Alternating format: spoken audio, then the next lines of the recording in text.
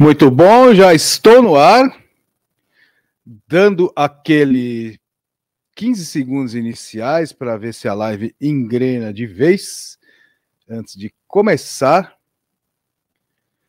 Agora sim, boa noite, boa noite, muito boa noite nesta noite do dia 24 de janeiro do ano de 2024, com uma resenha como vocês estão conseguindo ver na tela, Off Edition, ou seja, nós não vamos seguir hoje aquela sequência numeral que serve inclusive para nos orientar com relação ao conteúdo que será abordado, mas estamos com um tema que já foi pedido há muito tempo, inclusive já foi prometido há muito tempo, e oportunamente agora que eu estou sozinho na resenha de hoje, acho que é um tema que dá para ser abordado sem o menor problema, né?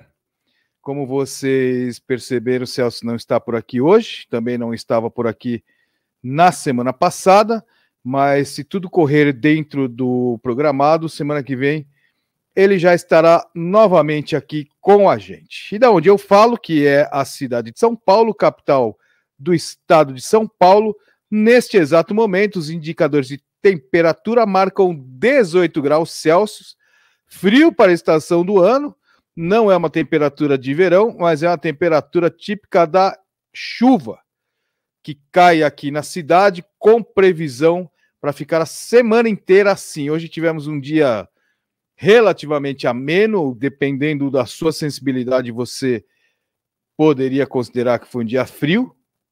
Frio para usar uma blusa leve, uma malha, né? Porque 22 graus é aquela famosa temperatura do ar-condicionado. E a expectativa é que nós vamos atingir a marca de 17 graus nesta madrugada, ou seja, vai dar uma pequena esfriada ainda, mas não vai mudar lá grandes coisas daquilo que está neste exato momento. Mas está aí, como vocês já viram pelo título, a resenha de hoje é para entregar uma promessa de longa data que a gente já fez, já teve uma época onde esse assunto ele foi cobrado com muito mais frequência, né? Que a gente prometeu, o pessoal, o pessoal ficou com isso na cabeça. Mas agora estamos aí.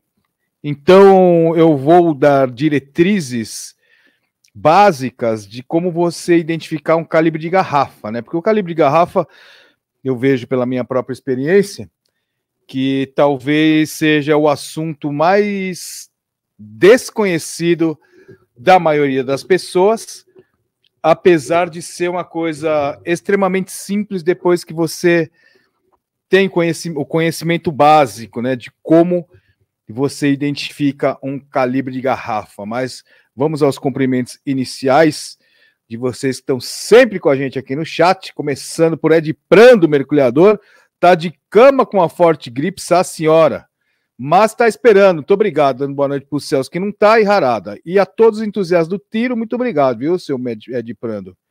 Sempre aqui com a gente. Assim como Augusto, que está dando boa noite. E mestres poderiam falar sobre o calibre 351 Winchester Self-Loader. Se ele se compararia ao que hoje? Um 30 Carbine? Uh, não, cara, ele é mais forte do que o 30 Carbine, bem mais forte. 30 Carbine ele tem é, a balística comparável a 357 Magnum, né? 351 Winchester, ele tem uma balística comparável a um 3030 mais P, porque ele manda um projétil de 180 grains a 1800 pé por segundo, 3030 típico manda 170 grains a 1900. Tá ali, ó. Tá ali. Ele é um pouquinho mais forte que o 30-30, um pouquinho mais fraco que o 35 Hamilton. 35 Hamilton é um 30-30 engordado, né? Mais ou menos na proporção do, do diâmetro do estojo. Do estojo, não, do diâmetro do projétil, sem crescer o estojo em comprimento. Não sei se foi suficiente, se era só isso que você queria saber, mas basicamente é isso, né? 351 Winchester, puta num calibre obscuro pra caramba, né? Já está obsoleto já faz bastante tempo. Mas tá aí, muito obrigado pela pergunta, pela participação. Marcelão, Correia Lima da Rocha estava preocupado se não ia ter shotcast. Eu estava atarefado com as tarefas do dia de hoje. Eu estava no telefone até agora, para vocês terem uma ideia. Eu desliguei o telefone para entrar na live. Resolvendo um monte de coisa. Entre elas, a história da Confederação de Tiro ao Prato Metálico, que está consumindo bastante meu tempo. Obrigado, viu, Marcelo? Glauber Almeida aqui com a gente também, dando boa noite. Oráculos do Tiro, reportando 16 graus Celsius em Caxias do Sul, com chuva e sensação de 13. Nem parece verão, nem parece verão, você vê? Mas é por causa da chuva, né, que dá essa esfriada, graças a Deus. Antônio Basílio também, diretamente da região rural de Uberlândia, reportando 24 graus Celsius depois de um dia chuvoso. Noite agradável, ouvindo nossos mestres em mais uma brilhante resenha. Muito obrigado, viu? Mauro Bergoc já está animado, porque já está se empolgando com o aspecto da garrafinha, no caso de vodka. Muito obrigado, viu, seu Mauro, nosso parceiro. Luiz Melo também sempre com a gente dando boa noite, assim como o professor Diego Von Rad, diretamente do Canadá, aqui com a gente. Muito obrigado, viu, professor Diego? Está aqui. E o Debrando Júnior, que me mandou mensagem, eu não respondi. Eu vi que você mandou um monte de coisa que era para falar dos seus testes lá, ô Júnior. Me per... Mil perdões, viu, cara? Realmente tá complicado mesmo de conseguir ler todas as mensagens, principalmente por causa dessa minha tarefa de agora, né? Dando boa noite, galera da Porva. Salve pro Recarga Sem Frescura. Muito obrigado, grupo Recarga Sem Frescura. Em peso aqui na resenha. Muito obrigado. Você tem o seu grupo de WhatsApp preferido. Você, administrador de grupo de WhatsApp, ou você quer mandar um recado para seus amigos do seu grupo de WhatsApp, manda aqui que a gente fala. Muito bom. Cristiano Rossi também com a gente.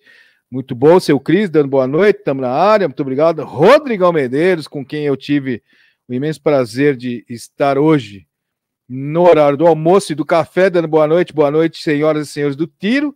Em São Paulo, re, finalmente refrescou, pois é. A HH está até usando blusa. Estou ficando velho, né? Estou saindo com blusa de casa, do jeito que a minha mãe falava para fazer. Professor Clavão Reis também aqui com a gente, dando boa noite, senhores. Agradável, 18 graus em Barueba, assando boi a ferro e fogo. Apostos para a melhor resenha de armas das galáxias. Muito obrigado pelas considerações. Pedrão Castro Martins aqui com a gente também, dando boa noite a todos, com saudações especiais para os grandes mestres de serviço. Parece que a Beretta fez uma 92 em single action, com trava de coca no frame. Será nostalgia? Não, é para competição. Certeza que o gatilho continua ruim. Pior que não, cara. Porque o que faz a, o gatilho da PT92 ser ruim é o fato, é o mecanismo que eles criaram para conseguir fazer ele funcionar em DASA. Que a Beretta conseguiu inventar um negócio complicadíssimo, cara. Quer dizer, complicado, é complexo para quem criou, que é um sistema meio de catraca, a gente pode chamar assim. No sistema single action, qualquer arma com gatilho single action tem uma tendência a ter o gatilho bom, né? E eu já tive a oportunidade de ver e atirar com essa bereta, que tem duas versões, inclusive. É... Gatilho não é ruim, não. Gatilho single action only não dá para ser muito ruim, né? Ovaldo aqui com a gente perguntando boa noite, cadê os meninos? Né? E dando boa noite aos amigos do chat. E os meninos não tá, tá só eu. Muito obrigado pelo meninos. Eduardo Dias estendendo buenas noites, que deve estar tá sei lá onde, mas tá aí. Rodrigo Põe também, dando boa noite, pessoas do Tiro, capital Alencarina, com sensação térmica de 29 graus Celsius. Noite fresquinha, essa senhora. Muito bom, Luiz Carlos Tonin. Em 1 de maio, norte do estado do Paraná, reportando 26 graus Celsius com chuva. Essa época é época de chuva, né? Verão no hemisfério sul é chuva. Poim e o Eduardo falando de gastronomia. Muito bom. Vini Ramos aqui com a gente também, reportando 17 graus em São Bernardo City. Aquela neblina que só quem conhece aqui sabe como é. Pois é, eu conheço e é isso aí. Mais um show da dupla japaneja. Hoje é solo, não tem dupla. Hashtag notas em escala Celso de Lara, que hoje não vai ter. Ainda não imagina Celso criança, você perdeu. Mas quem sabe a gente põe a foto dele aqui de novo. Não é? Alpoim também já revelando segredos da foto de seus crianças. Fabião Góes aqui com a gente, dando boa noite. Amigos do Shotcast, a melhor resenha, muito obrigado pelas considerações. Renatão Beltrão também aqui outro praticante de tirar o prato metálico lá na capital mineira, reportando 23 graus Celsius e chovendo. Chove no Brasil todo. Daniel Alves está aqui também, dando boa noite, amigos do Tiro, sempre com a gente. Muito obrigado. Carpenô, que tem aqui reportando 23 graus diretamente da capital federal, Brasília, no Distrito Federal. Muito obrigado, viu, Carpe? E aí o Edu tá reportando no Pacaembu, temperatura exata de um frio do caralho. Que boca mais suja essa, hein, seu Eduardo? Eric Karma aqui com a gente também, dando boa noite aos coleguinhas do tiro, hashtag volta céu. Semana que vem ele tá de volta. Sidney Gonzaga também, reportando 20 graus Celsius em Volta Redonda, estado do Rio de Janeiro. Carlos Uni também aqui com a gente, dando boa noite a todos. Marcelão Oliveira, diretamente da República de Caieiras, reportando 17 graus. Caieiras, que é naturalmente mais frio do que a capital a parte central, porque tá perto do Japi aí, né? Uma vez mais por aqui para não deixar o Henrique sozinho. Muito obrigado. Conto com a companhia de todos vocês, uma vez que o Celso ele não está, mas logo mais, logo menos, ele está de volta. Rodrigão Yamaca aqui com a gente também, dando boa noite a todos, atrasado, mas presente, reportando 18 graus Celso em Chujano. Juliano Weiler, Boa noite a todos, Fogão Além, Caçador, Santa Catarina, ô louco, 15 graus Celsius lá em Caçador, abraço para todo mundo da, do estado da Bela e Santa Catarina, lugar que eu gosto muito, diga-se de passagem. Luiz Renato Rota Messias também com a gente, dando boa noite. Ricardo Rocha, diretamente da terra do ET, dando boa noite. Amigos do Tiro, 23 graus Celsius, na zona rural de Varginha. Minas Gerais está longe do CUPC, viu, seu Beto Barbera? E aí, Juliano contando para a gente que amanhã a previsão é 10 graus de mínima lá em Caçador. Sá, senhora. Ah, Luiz Renato, ele está em São José dos Campos, Vale do Paraíba, muito bom. Marcião Yamamoto de Brasília, dando boa noite a todos, muito obrigado pela presença, assim como Eugênio Guerra também dando boa noite. Muito bom. Aí o Alpoim perguntando sem o Celso de novo, sem o Celso de novo. Chama o Arcílio, nem fudendo. Alexandre SP dando boa noite aqui com a gente. Bob Barbeiro também. Dando boa noite. Japonês, 27 graus em Coruripe, Alagoas. Sabe que eu até. Você me lembrou que hoje a gente ter, supostamente teria um convidado, porque a gente já estava sabendo que o Celso ia se ausentar durante duas edições. E o nosso convidado de hoje é uma pessoa de Alagoas, rapaz. Sabia? Você não sabia, porque eu não contei, estou contando agora. E ele só não está aqui com a gente porque ele está num lugar melhor, viu? Bem melhor. Mais oportunamente, é um ilustre, célebre alagoano aqui na telinha do Shotcast. Muito obrigado, viu? Macena 58, dando boa noite a todos, vamos que vamos. Bora, Macena, obrigado pela presença. Obrigado pela presença. Olha quem está aqui, ó. DP, sumido. Obrigado, viu, DP, pela audiência. Obrigado pela presença de hoje. Tá empolgado? Garrafa é com nós. Não sabia que vocês falavam assim aí na tua terra também. 300 blackout. 300 blackout é uma garrafa, né? E aí o Luiz Renato reparando que hoje será um dia propício para falar do calibre 222 Hamilton, que hoje é calibre permitido. A gente pode falar especificamente só do 222 Hamilton. 222 Hamilton, um baita de um calibre, viu? E eu diria até mais, tá? provavelmente, como calibre, como munição, na verdade, como munição 222 Hamilton, ele tem características mais desejáveis que o próprio 223. Só que o 223 ele teve uma, um desenvolvimento absurdo, né, por conta dele ser uma dele ser dotado pela OTAN, pelo exército americano principalmente, então a quantidade de desenvolvimento que se fez em cima do 223 talvez até igualou as características que o 222 tinha superiores ao 223.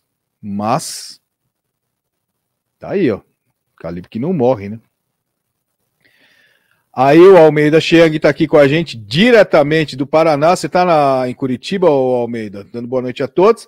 Mauro Vitor Barros aqui com a gente, já reportando notícias diretamente da Shot Show, que a Taurus lançou um fuzil Scout no Shot Show. Eu recebi as fotos desse fuzil. Eu não lembro quem foi que me mandou. Diretamente da Shot Show. E eu fiquei curioso para saber se esse fuzil é aquele que a CBC apresentou na Shot Fair aqui no Brasil, porque ele tem cara, a ação dele tem cara de Patriot, né? E ninguém soube me responder. Fuzil de ferrolho, cano de 18 polegadas, 308 Winchester, tá vendo? Ah, Almeida Cheng tá em Curitiba. Aliás, eu estava ao telefone com a personalidade de Curitiba antes de começar a live. Muito bom. 16 graus, gelado e sem chuva. Mas aí, Almeida, Curitiba, para ter essa descrição de tempo em Curitiba, não precisa ser em época especial nenhuma do ano, né? Curitiba. Curitiba, eu já eu teve uma época de 8, 4, 5 vezes por ano para Curitiba. Tempo bom esse, hein? E óbvio, toda vez que vai para Curitiba, sempre acaba em massa na Santa Felicidade, né? Vai dizer que só eu que faço esse tipo de programa. Renato Beltrão, Harado, Shotcast TV. Muito bom. Moacir Sestari, dando boa noite, mestres e demais participantes. Hoje ele está em Cabrobó, Pernambuco, reportando 27 graus por lá, Nordeste sempre quente. E aí o Valdo lembrando que terça-feira, mais conhecido como ontem, tiro ao prato metálico, foi show de bola no Typhon, pois é, terça-feira é dia de tirar o prato metálico no Typhon, principalmente pelos amigos que lá estiveram, muito bom. Olha quem está aqui! Brenda Provese, do canal Pólvora com Blush, eu engasguei aqui até de falar, só pela surpresa de ver a Brenda. Mas eu vou tornar público uma coisa, viu, Brenda? Que eu estou de mal da senhora, porque a senhora veio de novo para São Paulo e nem mandou mensagem para falar que estava aqui. Tá anotado no caderninho, viu? Mas talvez você tenha perdão pelo fato de ter aparecido na resenha de hoje. Muito obrigado. Beijo para você. Aí o Maurão, diretamente de Woodstock, Geórgia, estado da Geórgia, nos Estados Unidos, 14 graus Celsius, mas lá tá inverno, né? Porque tá quente para a estação, porque nessa semana deu menos 12. Sá senhora. Celso foi para shot show não, foi para outro lado. Sidney Gonzaga já perguntando 222 se é um calibre eficiente para tiro de precisão. 222, Sidney, durante muito, mas muito, muito, muito tempo, ele foi, ele era reconhecido como o calibre de precisão o calibre small bore de precisão. E realmente uma das características que fazem o 222 ser preciso, que fazem o 222 ser diferenciado, realmente é a precisão inerente desse calibre. E no desenvolvimento né, da, da, dessa proposição de explicar sobre calibres de garrafa, eu vou explicar por quê. Né? Aí o Ricardo Rocha está aqui com abstinência de tiro prato metálico, porque ele está fora, mas semana que vem está de volta. Paulo Ventosa, que só gosta do Celso, entrou, viu que o Celso não tá, deu oi e já deu tchau. Tchau, bigode. Aí o Renato Beltrão dizendo que o Mauro, que Mauro, comentou sobre o senhor Roberto. Que Roberto? Pimentel? Já fiz live com ele, mas posso fazer outra. Que é especialista em recarga. Sim, Bob Pimentel, Roberto Pimentel, Roberto de Barros Pimentel que é o fundador da Projetis Buffalo, e agora eles adquiriram a Metalúrgica Marcontes, né? Mas quem está lá no, no, Tá o Tércio, tá a Maria Helena e o Musca, né? Também no comando juntamente com o Bob. Mas o Bob foi o primeiro, primeiro convidado a fazer live aqui no Chatcast, ô Renato. Procura nas lives antigas que você vai ver lá. Se eu poderia convidar ele para falar de recarga, sempre. Bob tem portas abertas aqui no canal. Muito bom. FB não veio hoje porque está no SS. Que misterioso isso, hein, o Edu? Muito bom.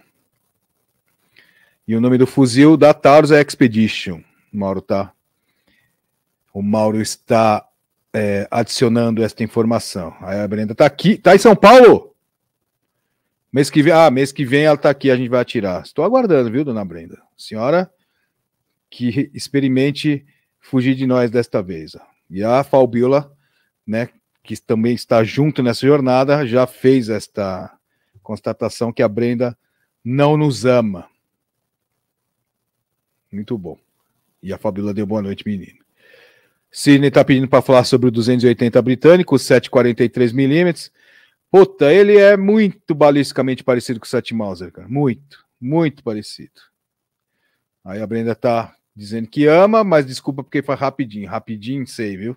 Sei, com C cedilha Y, viu? Estamos de olho na senhora, viu, dona Brenda? João Lobo está aqui, dando boa noite, senhores. Ops, senhor. É, eu tô sozinho. Hoje é live das garrafinhas, live das garrafinhas. Marcelo Sabá perguntando se deram férias para o Celso. Exatamente isso. Celso está de férias. Foi realizar compromissos familiares. Mais conhecido foi passear com a mulher. Mas semana que vem ele já está de volta. E aí o Vini aqui, ó. Essa semana viu nas postagens que a Brenda atira de salto alto. Melhor que muito cara por aqui. Eu vou falar uma coisa para você, viu, Vini? A Brenda, ela não é fácil, não, viu? E não é de hoje que ela faz isso. E ela tem motivos técnicos para fazer isso. Acompanhe no canal da Brenda que ela explica lá por que, que ela tira de salto alto. Porque ela pode, em primeiro lugar. Não é? Aí o Pablo Sniper aqui com a gente, dando saudação a todos, em especial ao anfitrião solitário. Não estou solitário porque eu estou com vocês. Ora bolas, como assim, ô Pablo? Mas tá aí. Marcena perguntando se o 17HMR também participará da categoria de hoje, não especificamente, mas vocês vão entender. Eu vou, eu vou passar para vocês uma maneira muito fácil e simples de você identificar calibre de garrafa. Uma vez você identificando o calibre de garrafa, você vai entender todos, né? DP é mal criado, não vou nem colocar o que, que ele falou aqui, mas já vou seguir a sua sugestão porque a gente já esgotou o chat. Muito bom. Calibre de garrafa. Calibre de garrafa, que para muitas pessoas é um mistério, para muitas pessoas é um negócio assim que é difícil de entender, ou para a vasta maioria das pessoas, calibre de garrafa basicamente é tudo igual, né? As pessoas não conseguem ver diferença nos calibres de garrafa. Isso também tem muito a ver com é, a nossa cultura e o fato da, do nosso acesso aos calibres de garrafa no Brasil, ele sempre foi uma coisa restrita.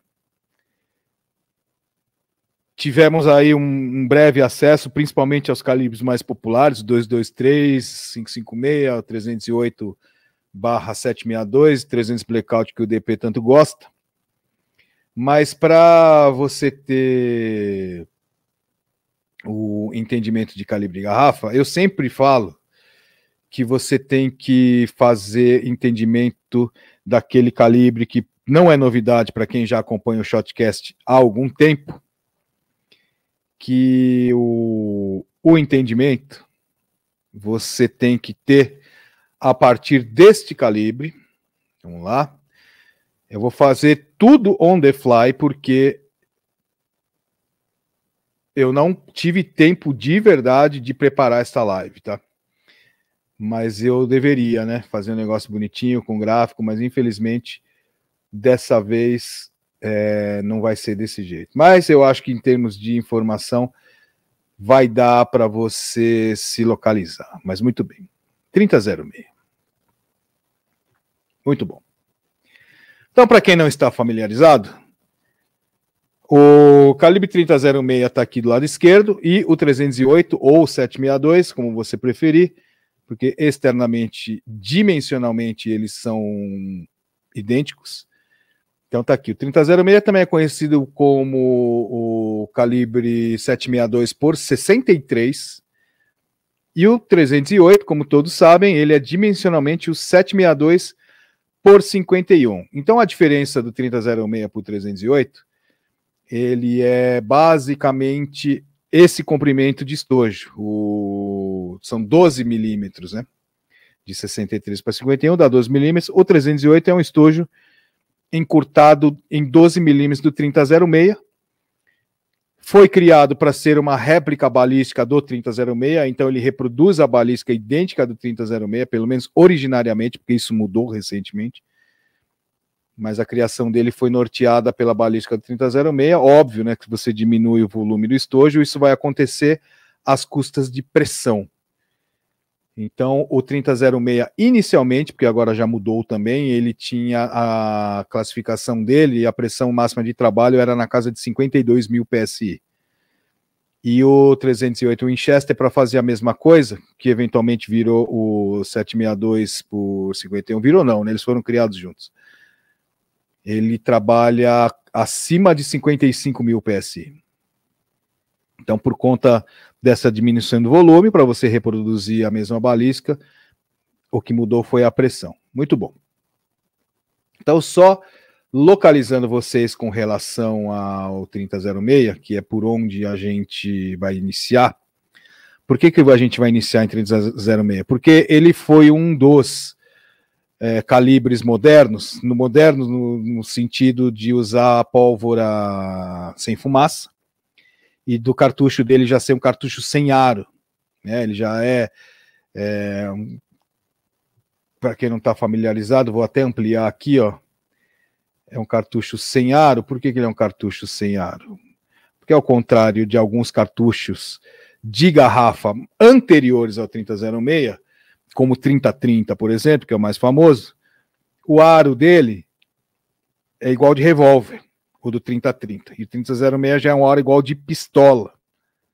Né? Apesar dele ser, ter sido concebido para ser utilizado em fuzil de ferrolho, e fuzil de ferrolho, e fuzil de ferrolho e metralhadora semiautomática.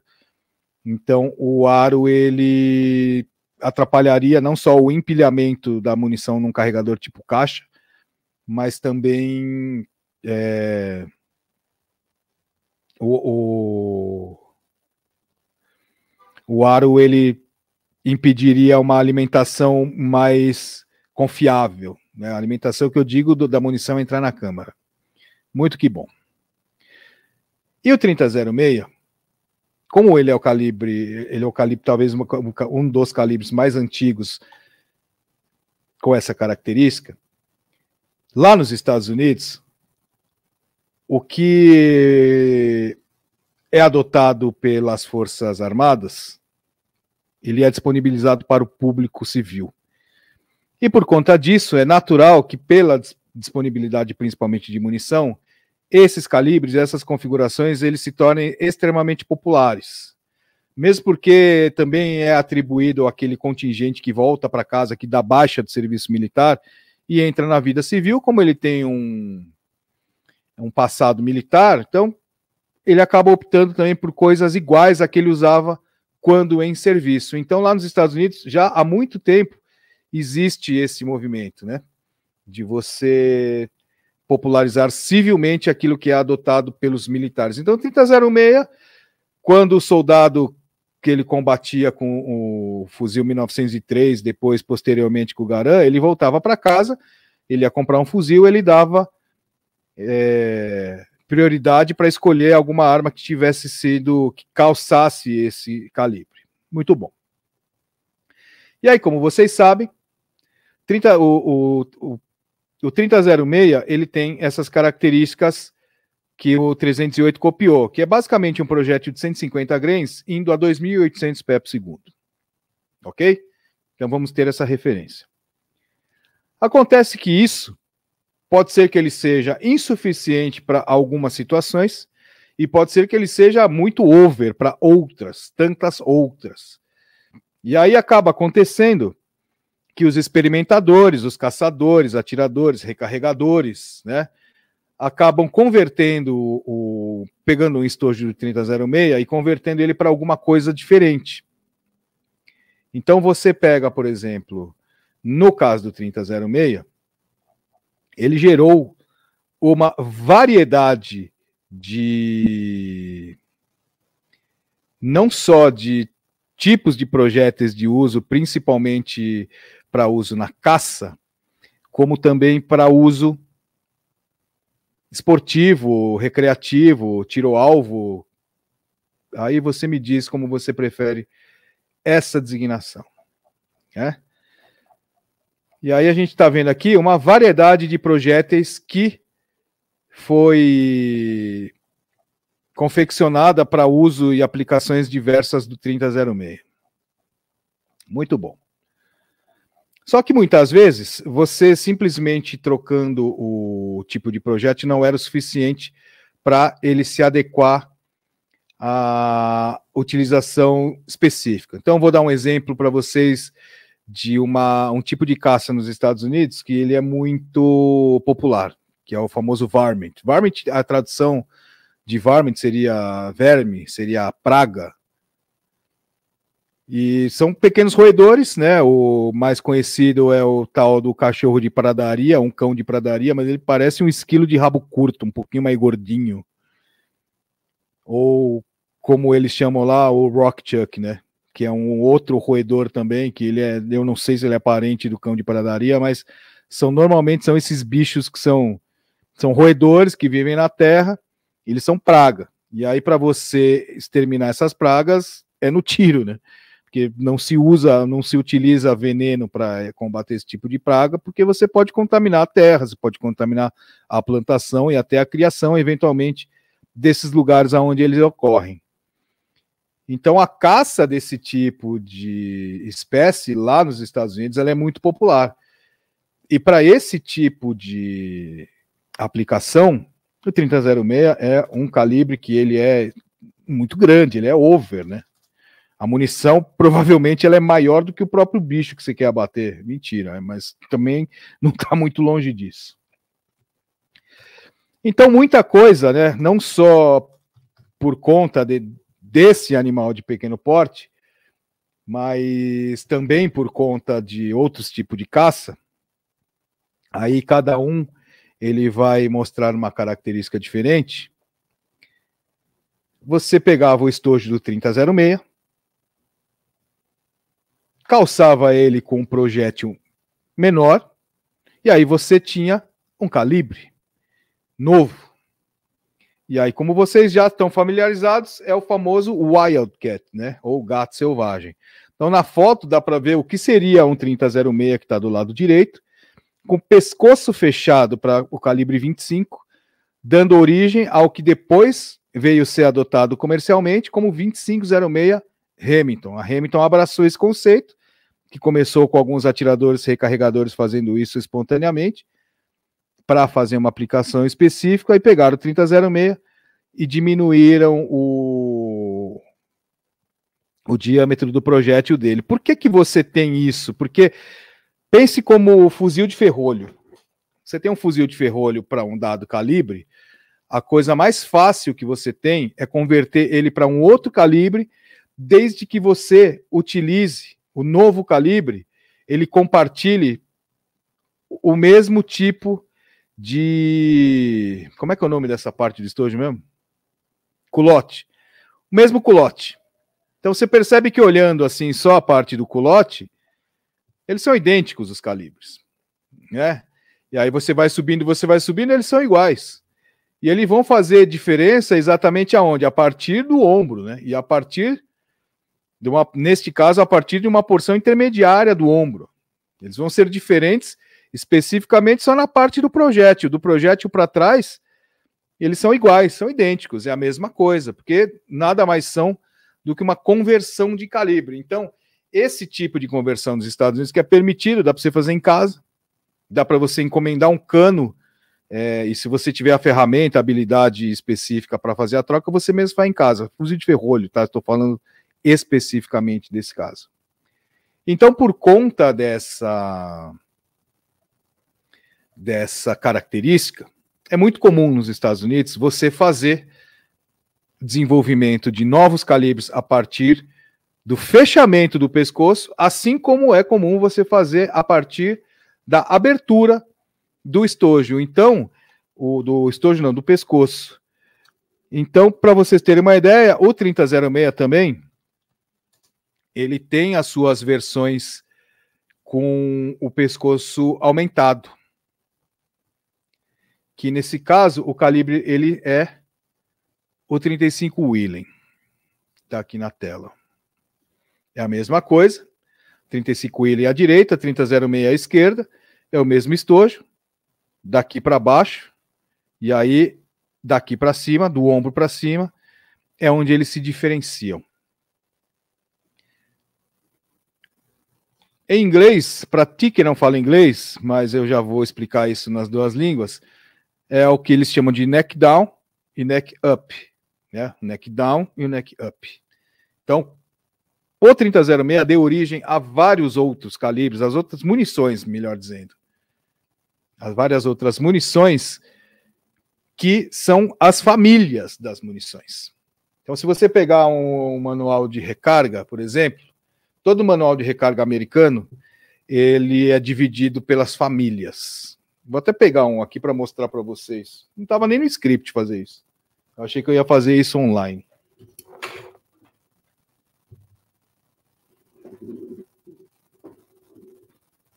Está aqui em minhas mãos o manual super tradicional da quinquagésima edição do manual da Lyman, manual de recarga da Lyman. Já estamos na quinquagésima primeira, o mais atual é o manual de número 51. Se você folhear o manual, não dá para você entender muito bem se você não tiver iniciado na parte de calibres de garrafa, mas vamos pegar aqui no, na parte de, do calibre família calibre 30. Porque o próprio manual ele já separa os capítulos é, pelo calibre. Então tá aqui, ó. Acho que aqui dá para ver assim.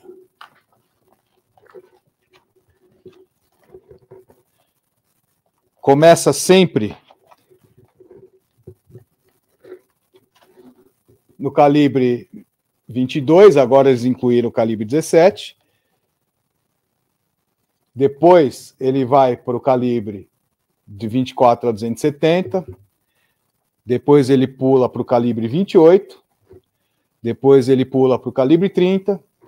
Depois ele pula para o calibre 31 a 34. Depois ele vai para o calibre 35 a 37. Depois ele vai para o calibre 40 a 44. E eu estou falando isso só dos calibres de garrafa, tá? E acaba nos calibres 45 e 50. Então, se você pegar, por exemplo, o 3006, já se criou um calibre fechado para o calibre 25 do 3006, que é o 2506. E o calibre, o estojo do 3006 aumentado para o calibre 35 é o 35 Willen. E aí eu não preciso dizer para vocês que vocês já devem estar intuindo isso nesse momento, que se eu pegar todos esses calibres aqui, ó, 17, 270, 28, 30, 30 é o 3006 é 30, né? 31 a 34, 35. Já existem munições dentro de cada família de projétil usando o estojo 3006 fechado ou aberto. Então, o importante quando você vai entender calibre de garrafa é você saber qual é a origem do calibre. Tem algum algoritmo para você entender isso? Não sei. Mas você, de tanto você folhear manual, de tanto você manusear, ter oportunidade de conhecer as armas, ter contato com isso, você acaba que meio que absorvendo, porque nos calibres de garrafa, desgraçadamente, eles batizam do jeito que eles querem, e não necessariamente o calibre nominal corresponde ao calibre real ou à família do calibre. Né? Então, eu vou dar um exemplo para vocês. Você, o 2506 já foi apresentado para vocês. Aí o próximo calibre é o calibre que está aqui na, entre 24 e 270. Então já existe uma munição da família de projéteis em diâmetro 270, que é o 3006 fechado por 270, que a gente já falou dele várias vezes aqui, inclusive recentemente, que é o 270 Winchester. 270 Winchester, que é um clássico, ele nada mais é do que um 3006 fechado para o calibre 270. Aí também temos isso acontecendo na família de calibre 28. O calibre 28 também, mais conhecido como calibre 7mm. Então, todos os calibres de 7mm, da família 7mm ou 280, 284 na verdade, né? Eles são calibres desta metragem, desta metragem, desta medida. E o 3006 fechado para 7 milímetros, ou calibre 28, é o 280 Hamilton. É exatamente isso que ele é. Já falei do 35 Willen, né? E aí o 3006 aberto para 35 a 35 Willen. Mas antes disso tem um outro calibre que eu não sei se ele se tornou comercial, mas ele é super conhecido, que é o 3006 aberto para 338. Deixa eu ver se eu acho aqui, se ele vai estar nesse manual. Se não tiver nesse manual, ele poderá estar em outro. Cadê? É... Olha, já tem esse calibre aqui, não sabia que esse manual já estava tão atualizado. Tá aqui, ó. Esse calibre se tornou comercial através da Federal. 338 Federal, ele nada mais é do que um 3006 aberto para 338 e assim por diante. Então, uma vez que você sabe da existência dessas, que as famílias de calibre de fuzil elas são separadas através do diâmetro do seu projétil, você vai começar a entender os calibres também a partir dentro da sua família, aonde que ele se localiza em termos de potência. E melhor do que potência é falar em termos de peso de projétil e velocidade que ele é mandado. Porque falar de potência, a tentação é de começar a tratar isso em termos de joules, né? Ou até em libra-pé, o que quem já acompanha a gente há um tempo sabe que a gente prega você não fazer isso, porque você pode ter interpretações bastante é, equivocadas a partir desta métrica. Use sempre peso de projétil e a velocidade que ele manda. Muito bom. Então, já que eu comecei a falar do manual da Lyman, eu abri aqui no começo da família de calibre 30. E olha só o primeiro calibre que eles colocam aqui. Tá certo que esse aqui não é de garrafa, mas vamos considerar o 30 Carbon como sendo parte integrante, porque ele é cônico, cônico igual 9 milímetros mas ele é o primeiro da família 30, porque todos os manuais de recarga americanos eles costumam listar na ordem de capacidade, melhor dizendo. Então tá aqui, ó, pegar uma na balística típica deles, tá aqui, ó. Carga de 110 grains. Muito bom. Próximo calibre, em ordem crescente de potência ou capacidade que aparece, é o 300 Blackout, barra 300 Whisper. Depois do 300 Blackout, 30-30 Winchester. 30-30 Winchester. Depois veio o 300 Savage. Só a título de informação, o 308 Winchester, ele teve o 300 Savage como referência da época da sua, do seu desenvolvimento. O 300, o 300 Savage, comparado com o 308 Winchester, é, ele é ele é um 308 Winchester ligeiramente mais curto, tá? Basicamente é isso. Depois desse calibre, que é um calibre militar, foi adotado durante muito tempo pelo exército americano, 30-40 Krag. E aí aparece quem? 308 Winchester. Depois do 308 Winchester vai aparecer quem? 3006 Springfield. Depois do 3006 Springfield aparece quem? 300 Holland Holland Magnum, que nós vamos falar desse calibre também. Depois do 300 Holland Holland Magnum, aparece o 300 Hamilton Short Action, Ultra Magnum, puta não mão comprido, mas na verdade o 300 o Hamilton Short Action, ele é um calibre que foi feito para reproduzir a balística do 300 Winchester Magnum num estojo menor. Aí aparece o 300 Ruger, que também é mais ou menos a mesma história. Winchester Short Magnum.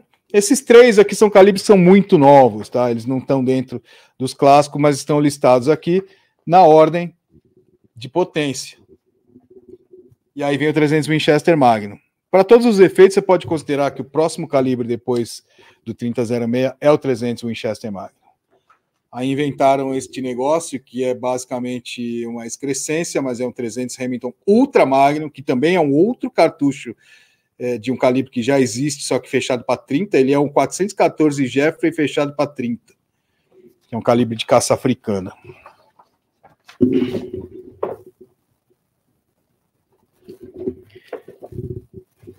300 Weatherby Magnum, que durante muito tempo foi o calibre 30 mais potente do mercado, até a própria Weatherby inventar esta outra excrescência, que é o 30378 Weatherby Magnum. Muito bom. Não se preocupem em você decorar isso, porque você consulta isso. Provavelmente isso tem hoje na internet, mas é mais para você ter o entendimento de como que você identifica e classifica e localiza um dado calibre de garrafa, tá certo? Muito bom. Então, dentro da família 30, os principais calibres comerciais são esses que estão no manual. Ah, porque eu tenho um outro calibre, porque não sei quem criou. Tem os calibres da Nosler, por exemplo, tem o 30 Nosler. Calibre de fuzil é assim: você pega um, transforma em outro, pronto, você já inventou um calibre novo. Agora, se ele vai emplacar comercialmente, se vai ter a indústria que vai se interessar por ele, já é um outro quesito, né? Porque às vezes você recria uma coisa nova, na verdade a balística dele é exatamente idêntica a uma outra coisa que já existe. A chance disso emplacar é muito pequena. Mas esses calibres que estão aqui, que eu acabei de passar com vocês da família do calibre 30, são calibres que são diferentes entre si. E uma regra prática, isso não é, isso não é uma regra formal, tá? Mas uma regra prática é mais ou menos assim, são 200 pés por segundo. Então, dentro de uma mesma família, você tem uma faixa de peso. Né? O calibre 30, você começa aí, em termos práticos, a partir de projétil de 100 grains e você consegue ir até 220 grains comercialmente disponíveis.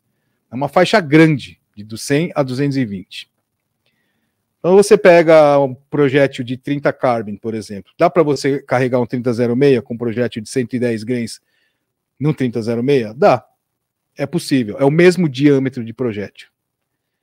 Só que para um 3006, o, calibre, a, o, o, peso de 110 grains, que é o peso padrão de um 30 Carbon, por exemplo, ele é muito leve. Então você tem uma charoleta desse tamanho, com uma capacidade de pólvora muito maior do que a do 30 Carbon, e você colocar um projétil leve, você não vai aproveitar o melhor rendimento que ele pode dar, porque você pode, tem a capacidade para mandar projéteis mais pesados. Então, não é muito racional você fazer esse tipo de coisa, mas dá. Tanto é, por exemplo, aproveitando a presença do DP aqui, que é um grande fã de 300 Blackout, é o que o pessoal tem feito para se virar com 300 Blackout, né? Utilizado projéteis de 30 Carbon que eles são disponíveis no Brasil para recarga que a Metalúrgica Marcondes produz e a Buffalo também produz projéteis de 110 grains de calibre 30. Então você consegue fazer isso. Então eles são da mesma família porque eles compartilham o mesmo diâmetro de projétil, mas isso não necessariamente significa que você vai conseguir usar os projéteis de maneira adequada por conta dessa condição do peso. Então, para dizer por que, que esses projéteis, esses projetos não, esses calibres todos eles emplacaram diante a inúmeros outros que foram criados, é porque eles efetivamente mostraram alguma diferença, e normalmente essa diferença são de 200 pés por segundo, 150 a 200 pés. Como assim 150 a 200 pés? Um dado peso de projétil, vamos colocar um projétil que é comum no calibre 30, 150 grains. Então, o 308 Winchester, vocês viram aqui na sequência do livro, ele está depois do 300 Savage. Muito possivelmente, se você for consultar o mesmo peso de projétil, ou até mesmo o mesmo projétil, o 308 Winchester vai ter a capacidade de enviar dentro dos seus padrões de pressão o mesmo projétil que o 300 Savage, só que a 150 ou 200 pés por segundo mais rápido. Então eu vou, vamos consultar aqui. Não preciso nem chutar, porque o manual está aqui. 300 Savage, projétil de 150 pés por segundo, 150 grains, desculpa, jaquetado soft point. A melhor marca é enviar isso a 2.700 pés por segundo. 308 Winchester, projétil de 150 grains. A melhor marca 2.960, 2.940. Está dentro daquela faixa de 200 pés por segundo a mais de velocidade máxima. 3006, ele reproduz a balística do o 308 reproduz a balística do 3006. Então o número aqui provavelmente vai estar tá semelhante. Se bem que eu já sei que na prática o 3006 você consegue Hoje você consegue, com um projeto de 150 gramas, você consegue mandar ele acima de 3 mil pés por segundo. Porque ele tem mais volume e entra mais pólvora que o 308, só por isso. Então, na recarga, você consegue fazer ele distanciar desta semelhança. Aqui, ó. 3006, a melhor marca para projétil de 150 gramas, 3012. Vamos ver se tem carga de 150 gramas para 300 Winchester Magnum, que eu acho difícil ter, mas tenho, né? Não é que tem? 300 Winchester Magnum já manda o projétil de 150 grains, a velocidade máxima quase 3,300. Então, para esses calibres efetivamente se diferenciarem, isso não é uma regra, tá? Eu estou dizendo é uma constatação prática isso. Eles têm que dar uma diferença de no mínimo 150 a 200 pés por segundo mais rápido do que aquele que você está querendo superar. Na prática é isso que acontece. Então a gente já tem dois parâmetros, né? Você saber, em primeiro lugar, qual é o estojo que originou este calibre que você quer identificar. E, em segundo lugar, dentro da família do projétil que ele está calçando, em que lugar que ele fica, comparado com aqueles todos outros que já existem. Então, esses dois parâmetros para você identificar um calibre de garrafa, eles são fundamentais. E é isso que vai você vai conseguir avaliar a partir dessas duas informações básicas qual que é o desempenho do calibre. Então vou dar um exemplo para vocês de uma coisa que sempre perguntam, parece que é uma coisa que é assim, é super do lado direito da magia negra, mas não é. O calibre novo do exército americano, que é o 277 SIG ou 277 SIG Fury, ou para quem preferir, para ti que fala alemão, 277 Zig Fury, que a designação métrica na OTAN é 6,8 por 51. Olha só, 6,8 por 51. O por 51 é o mesmo do 762 por 51. Então, você olhando pela designação métrica, dá para você intuir que é um diminuído do outro. Mas é um perigo você intuir isso cegamente pelos nomes da designação do calibre, mas neste caso específico dá certo, porque dimensionalmente o 6,8 por 51 ele é exatamente um 308 fechado para o calibre 277. Ele está na família dos calibres 270. E dentro da família 270, ele reproduz exatamente a balística do 270 Winchester. Só que ele faz isso a partir de um cano de 16 polegadas e o cano de referência para o 270, para a balística do 270 Winchester, é um cano de 24 polegadas. Então, pronto. Então, a partir dessas duas informações, você sabendo localizar o calibre de a partir do cartucho que o originou e aonde ele se posiciona dentro da família, da sua própria família, você consegue desenvolver o calibre sem mesmo ter chegado perto dele. Olha só que coisa impressionante, não é? Não sei se vocês gostaram. Calma que não acabou, mas eu vou passar no chat para ver o que é que vocês estão comentando ou levantando de questão com relação a isso. Vamos lá. Ah, Maurão Vitor Barros mandou uma foto que ele quer que se transforme num quiz, é um desafio para vocês identificarem calibres. Aí o Apoio Cachaceiro tá aqui, ó, arrumando desculpa para abrir mais uma garrafa, já que a gente está falando de garrafa. Muito bom, muito inteligente da sua parte. Tayane Popolchene aqui com a gente também, dando boa noite a todos. Obrigado pela presença, pela audiência.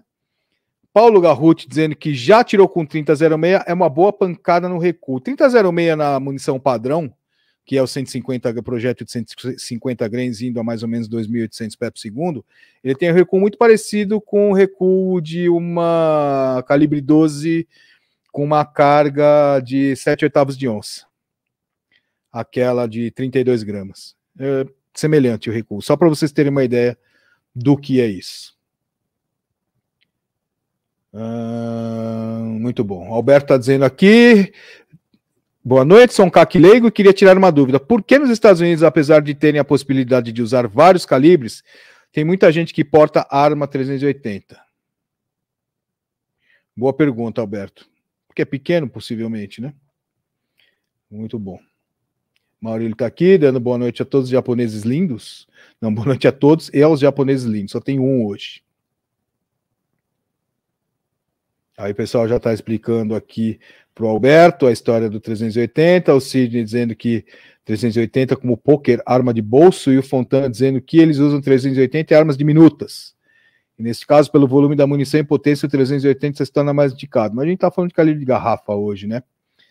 João Grijó aqui, marcando presença da galera do Recarga Sem Frescura, assim como o Matheus também, muito bom, obrigado. Abraço para os chifrudos do Recarga Sem Frescura, reportando 22 graus com sensação de 20 na cidade maravilhosa.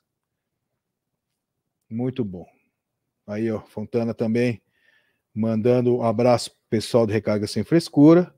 Aí o Eric Carmo já identificando ó, que o 300 Blackout nasceu de um estupro do 556. Foi tipo isso. Fernando Salgado também mandando um abraço para todos nós, cornos do Recarga Sem Frescura. Muito bom.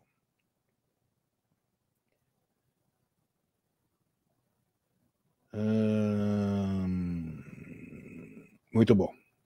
Aí, em posse dessas informações, o DP está perguntando: casca do 308 Winchester consegue transformar em 6,5 Creedmoor no mesmo sistema o 556 para o 300 Blackout? É, tem a resposta curta e objetiva e tem a resposta completa. Qual delas você quer? Darei a resposta completa. Sim, dá para você fazer, com algumas precauções. Porque o 6,5 Creedmoor, ele nada mais é do que o 308 Winchester, fechado para o calibre 6,5, mas o estojo ele é encurtado em 3 milímetros. Né? O 6,5 Creedmoor, na designação métrica dele, ele é 6,5 por 48, não é? É isso? 6,5 por 48. Vamos ver se é isso mesmo que está aqui. 6,5 Creedmoor. 6,5 Creedmoor, 6,5 Creedmoor.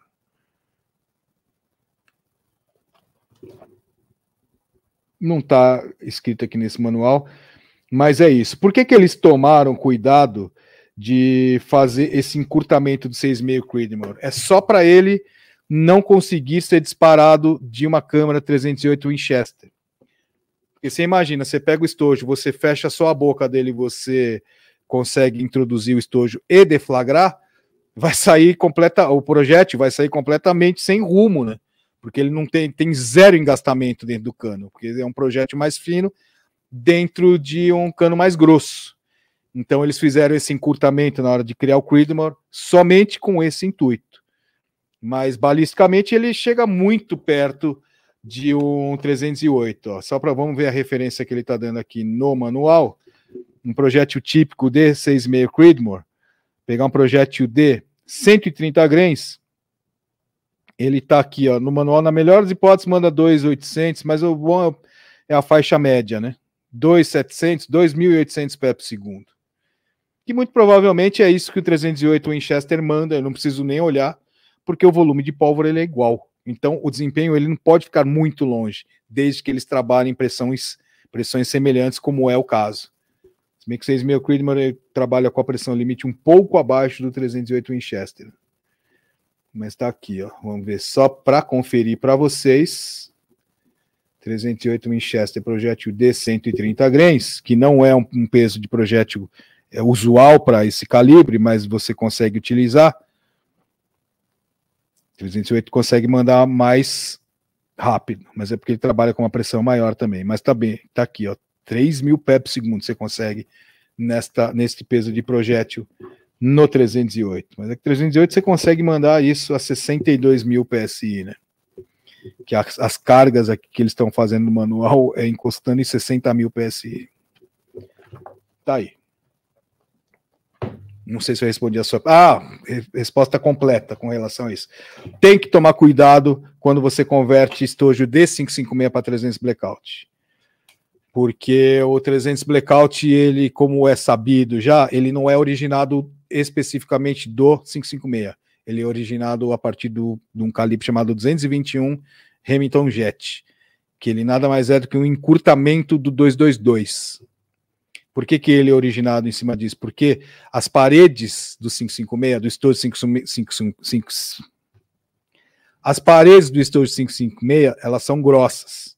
Então, se você simplesmente cortar o 556 para o tamanho do 300 Blackout e você fazer a garrafinha, pode ser que você tenha um pescoço muito grosso, a parede fica muito grossa.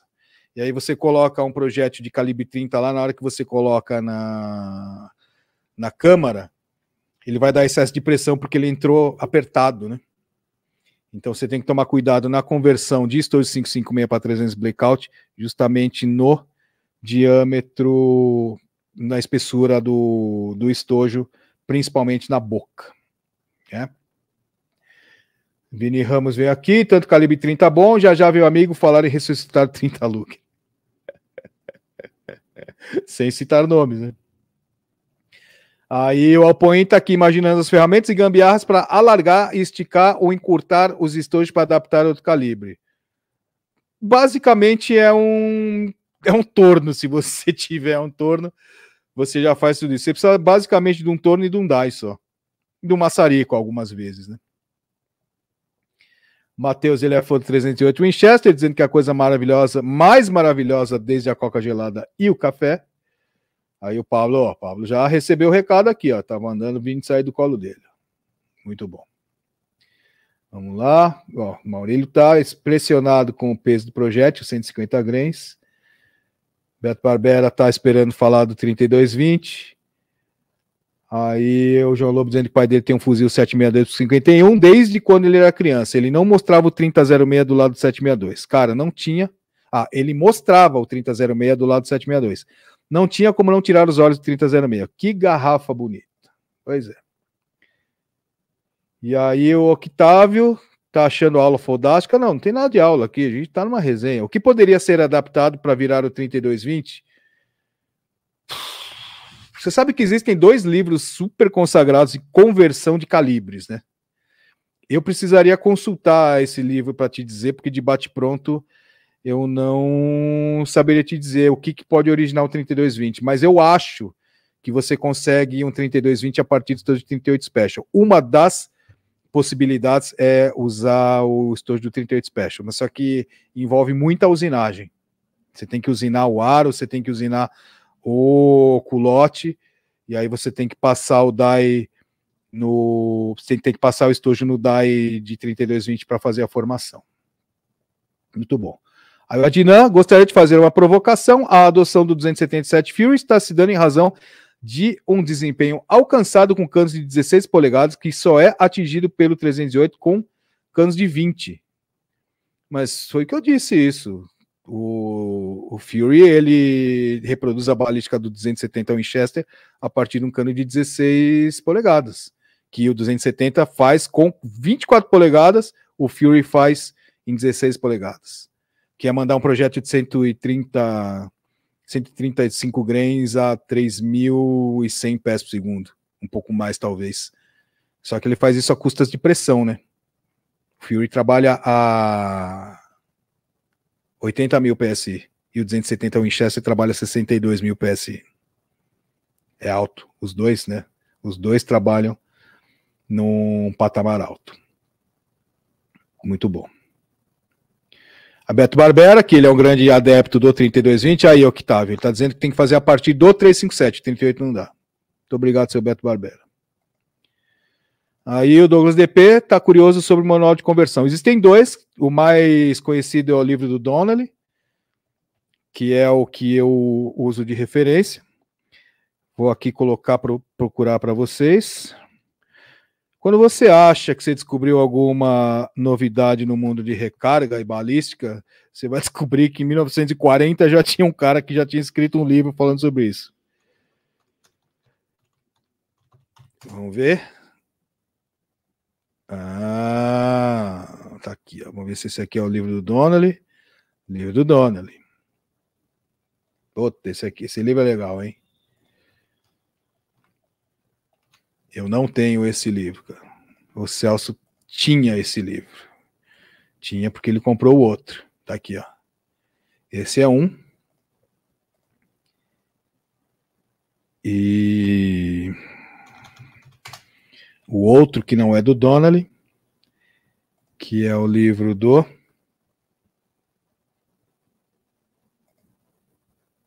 Pô, tá aparecendo o livro do Donnelly.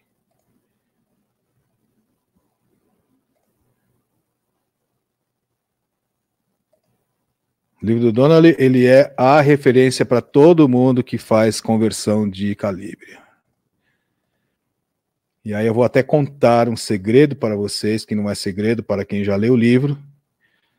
O livro do Donnelly, ele dá a receita de como fazer uma carga triplex para 454 Kazoo.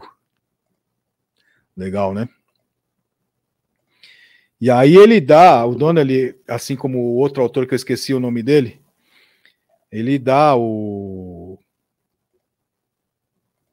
a receita completa e como você fazer a partir do calibre que você tem na mão e como que você quer chegar nele.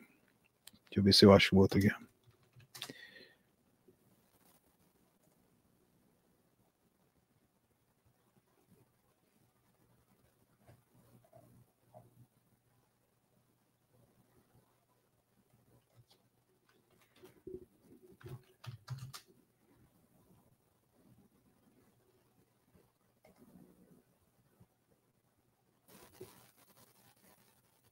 Não estou achando.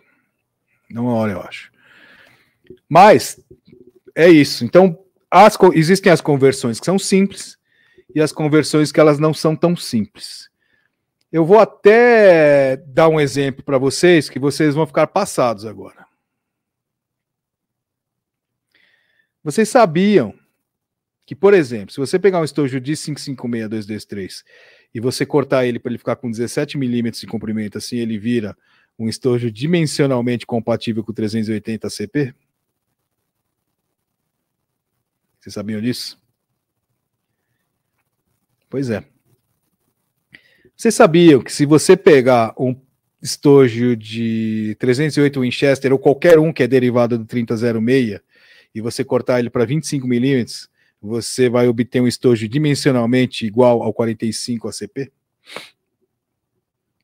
Então não existe milagre, porque tudo isso ele é baseado naquela questão de aproveitamento de plataforma.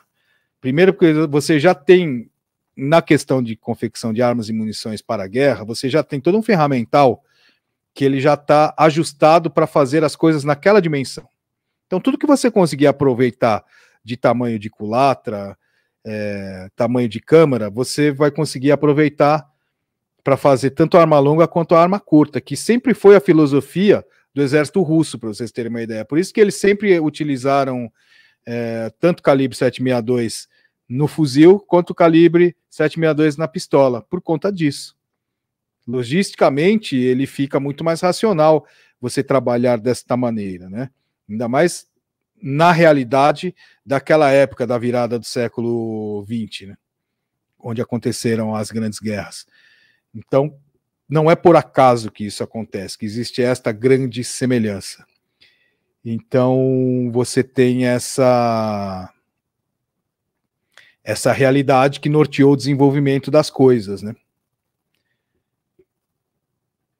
Aí Beto Barbera explicando que tem que ser o do 357, porque na hora que você forma o gargalo do 3220, ele diminui 2 milímetros, 38 Special fica faltando. Muito bom.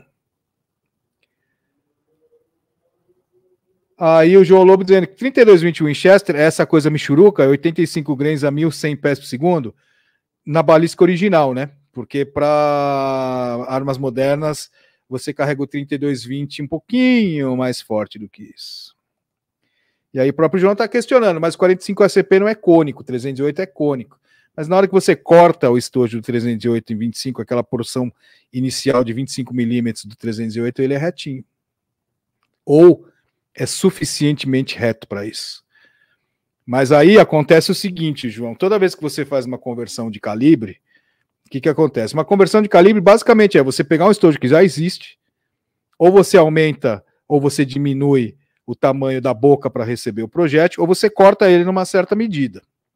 E aí a primeira coisa que você faz é passar esse estojo que ainda está para ser formado, você passa no DAI do calibre que você quer atingir, tá certo?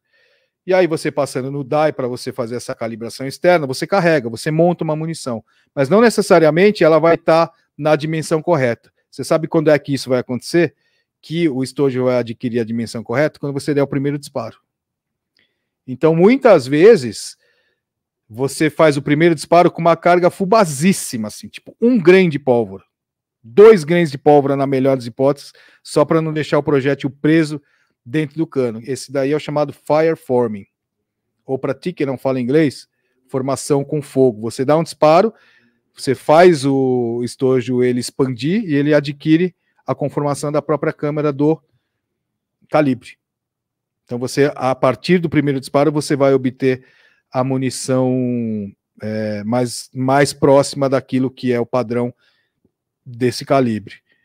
Mas no caso do 308 45, cara, a parede 308 é muito mais grossa que 45. Você tem que usinar, inclusive, a parede do 40 do, do desse, se você for fazer essa conversão, né, de estojo de 45 a CP a partir de 308, você tem que usinar internamente, que é um pé no saco, cara. Porque internamente ele não é reto, né?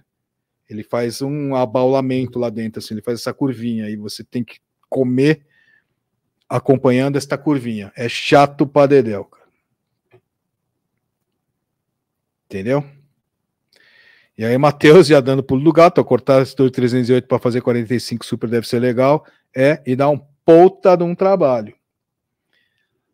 Ok, então acho que a gente está entendido pessoal que está no chat me dá ok, se está entendido então. Para a primeira coisa que você tem que localizar quando você vai identificar um calibre de garrafa é saber qual que é o calibre que originou ele e aonde que ele se encontra dentro da família dele. E a família é dada pelo diâmetro do projétil. Muito bom. Vou aguardar vocês darem o ok para ver se esse entendimento para a gente passar para o próximo passo na identificação de calibre de garrafa. Aproveitando aqui para agradecer meu amigo Guilherme Rosino por ter mandado os Red Bull para nós. Obrigado, Rosino. Já estou tomando tudo aqui, ó. Esse aqui tem uma cor muito da bacana, hein? Ó.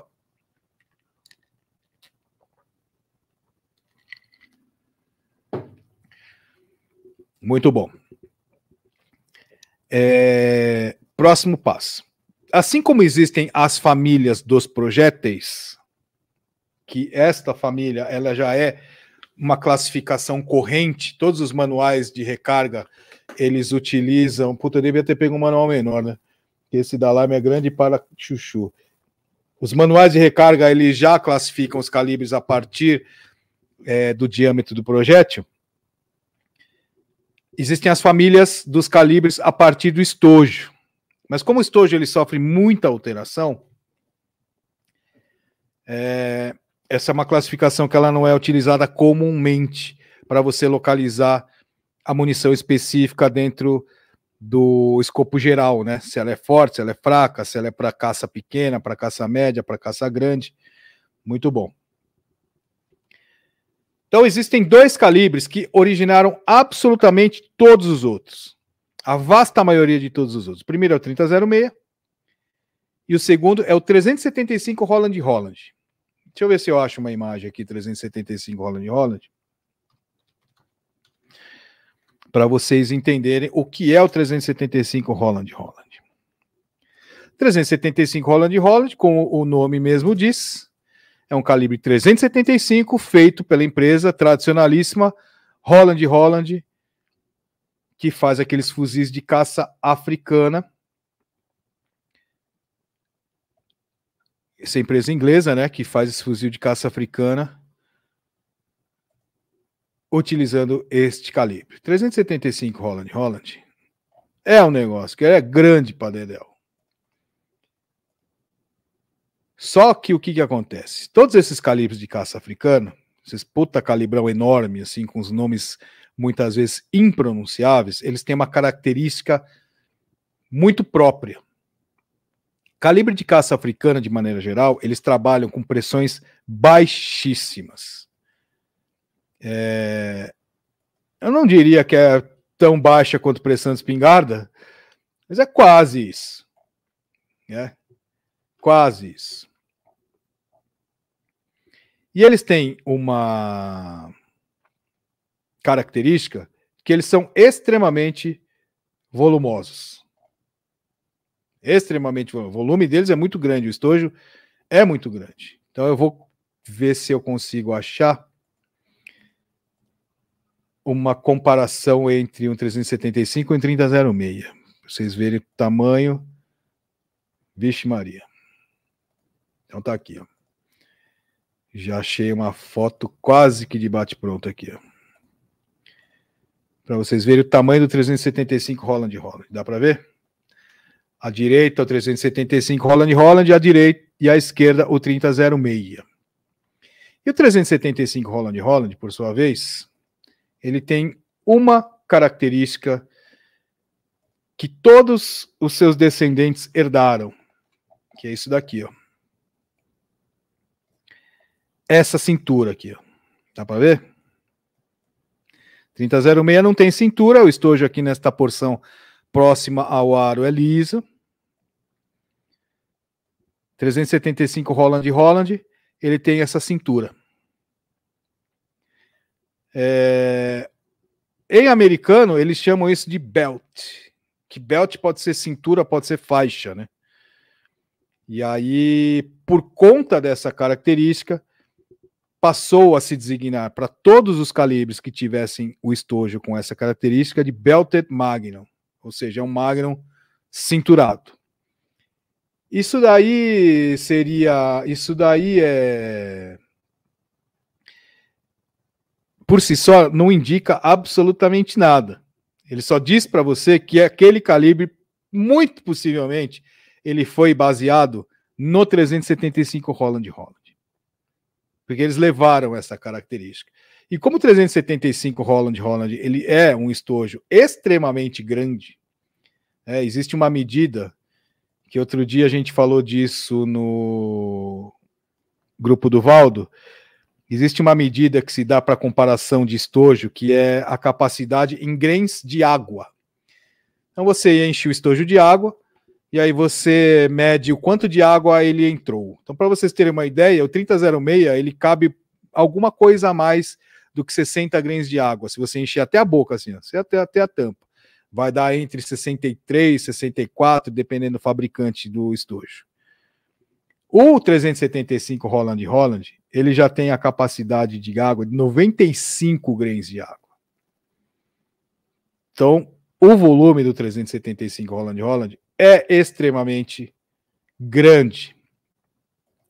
E aí, todos os estojos, todos os calibres é, Magnum tradicionais, vou dar um exemplo assim: a família Weatherby, os calibres Weatherby, todos eles se basearam no estojo do 375 Holland Holland. Então, todos esses Magnums tradicionais, o 300 Winchester Magnum, ele é baseado no estojo do 375 Holland Holland. 7 Remington Magnum é baseado no estojo do 375 Holland Holland. Então, todos esses Magnums tradicionais, eles são derivados de um 375 Holland Holland, que provavelmente teve o pescoço é, fechado para receber um calibre de um diâmetro menor e muitas vezes o estojo encurtado. Porque esse encurtamento do estojo, o que, que acontece? 375 Holland Holland, comprido para cacete. Né? Em milímetros, a munição é, ela tem quase 92 milímetros. Quanto que dá 92 milímetros? 92 milímetros, 100 milímetros é 10 centímetros. Né? Você imagina uma munição com quase 10 centímetros. Para você calçar isso em uma, um fuzil de dois canos, como são os Holland Holland, que carrega que nem espingarda de dois canos, você quebra o cano e insere a munição. Agora você imagina o curso de ferrolho que você tem que dar quando você coloca uma munição dessa num fuzil de ferrolho. Então você precisa ter um ferrolho extremamente comprido também. Isso é muitas vezes inviável, você acaba acarretando uma série de outros problemas. Não que não exista, existe. Mas isso não significa que você não tenha problemas. É o mesmo para quem está familiarizado com mecânica de automóvel, é a mesma história do virabrequim do motor Opala 6 cilindros. Qual que é o problema do virabrequim do motor Opala 6 cilindros? Que é o mesmo problema com o comando de válvula. É um eixo muito comprido. Então você tem a parte central que ele acaba fletindo. Mesmo que você coloque uma alguma coisa que sustenta, ele está em contato com a sede de válvula, ou no próprio virabrequim você tem o próprio pistão e o eixo que lhe dá o suporte. No caso de fuzil, é a mesma coisa. Você tem um ferrolho que ele fica flutuando a maioria das vezes, muito comprido. Apesar dele ser trancado ou na frente ou atrás, é um ponto de fragilidade, por exemplo. E para você produzir um negócio maior, vai mais material, fica mais pesado, leva mais tempo. Então, muitas vezes eles pegaram esse estojo do 375 Holland Holland e eles encurtaram. Então, eu vou dar o exemplo do 7 Hamilton Magno, que eu acho que é o derivado do 375 Holland mais curtinho, né? É o caçula da família. Aliás, eu já até disse aqui uma vez que o 375 Holland Holland Magnum, o 7mm é, Winchester Magnum, não, 7mm Hamilton Magnum, ele não merece ser chamado de Magnum, mas por uma questão mercadológica e uma questão é, de marketing mesmo, ele recebe e mantém essa designação, né? Vamos ver. Eu acho que esta foto aqui dá para ver. Ó.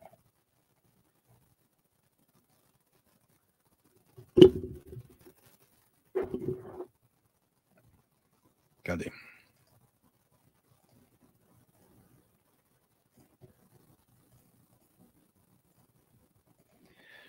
Então, aqui na extrema esquerda, a gente tem o 375 Holland Holland, e aqui na extrema direita, a gente tem o 7mm Remington Magnum. E como vocês podem ver, todos os estojos aqui têm essa cintura.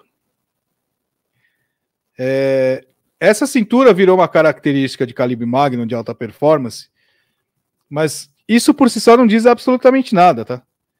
Porque isso daí, é, imagina que você tem um estojo de 38, que tem o aro, né?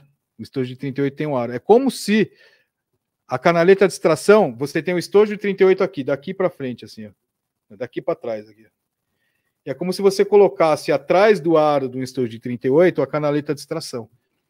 Se você olhar para qualquer estojo que ele é belted, nada mais é do que isso. É um aro que fica à frente da canaleta de extração. Ele só teve esse estigma porque os calibres Magnum que foram criados derivados do 375 Holland Holland, ele é, eles são assim. Eles não tiraram é, o belt.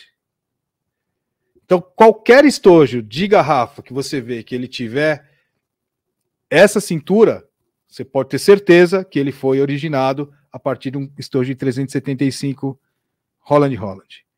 Primeiro derivado do 375 Holland Holland é o 300 Holland Holland, que nada mais é do que o 375 fechado para 30, para calibre 30, que ele acaba originando um calibre um pouco mais fraco que o 300 Winchester Magnum. Nós vamos ver aqui um 375 Holland comparado com um 300 Winchester, só para a gente ver a diferença de tamanho.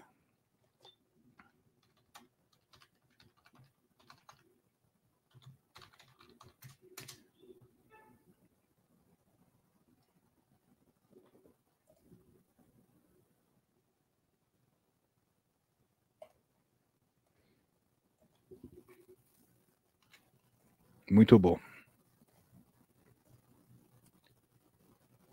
Não, isso aqui não é.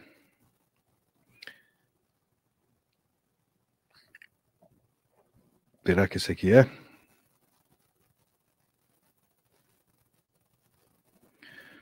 Esse aqui também não é, mas já dá para ter uma ideia. Então aqui, ó, o 300 Winchester Magnum é esse aqui do meio, ó. E esse aqui é o 300 Holland Holland, é o 375 já fechado para o calibre 30. Esse da direita é o 300 Weatherby Magnum. Os calibres Weatherby, já aproveitando para falar deles, todos eles, todos os Weatherby, sem exceção, apesar dos mais novos não serem, né? Mas a vasta maioria dos calibres Weatherby, eles são belted, ou seja, eles são é, derivados do estojo 375 e eles têm esta curvatura do ombro redonda, né? Que é a cara característica dos calibres Weatherby. E os calibres Weatherby, como desenvolvimento, eles sempre foram norteados para serem os mais fortes da família. Então, se você pegar um 300 Weatherby Magnum, ele vai ser mais forte que um 300 Winchester Magnum. Um 375 Weatherby Magnum, ele vai ser mais forte do que 375 Holland Holland. E por aí vai. 264 Weatherby Magnum, que é um puta calibre forte para Dedel. Ele é o mais forte da família dos calibres 264. Então, com isso, fica apresentado para vocês as duas principais famílias de calibre de garrafa. Né? Então, recapitulando, qual é o, o, o estojo que originou o calibre? Aonde que dentro da família do projétil ele se localiza em termos de potência? E sabendo que a vasta maioria dos calibres de fuzil, de garrafa, foram derivados ou de 3006, se não tiver cintura, ou do 375 Roland Roland Magnum, se tiver cintura. Isso é entendido?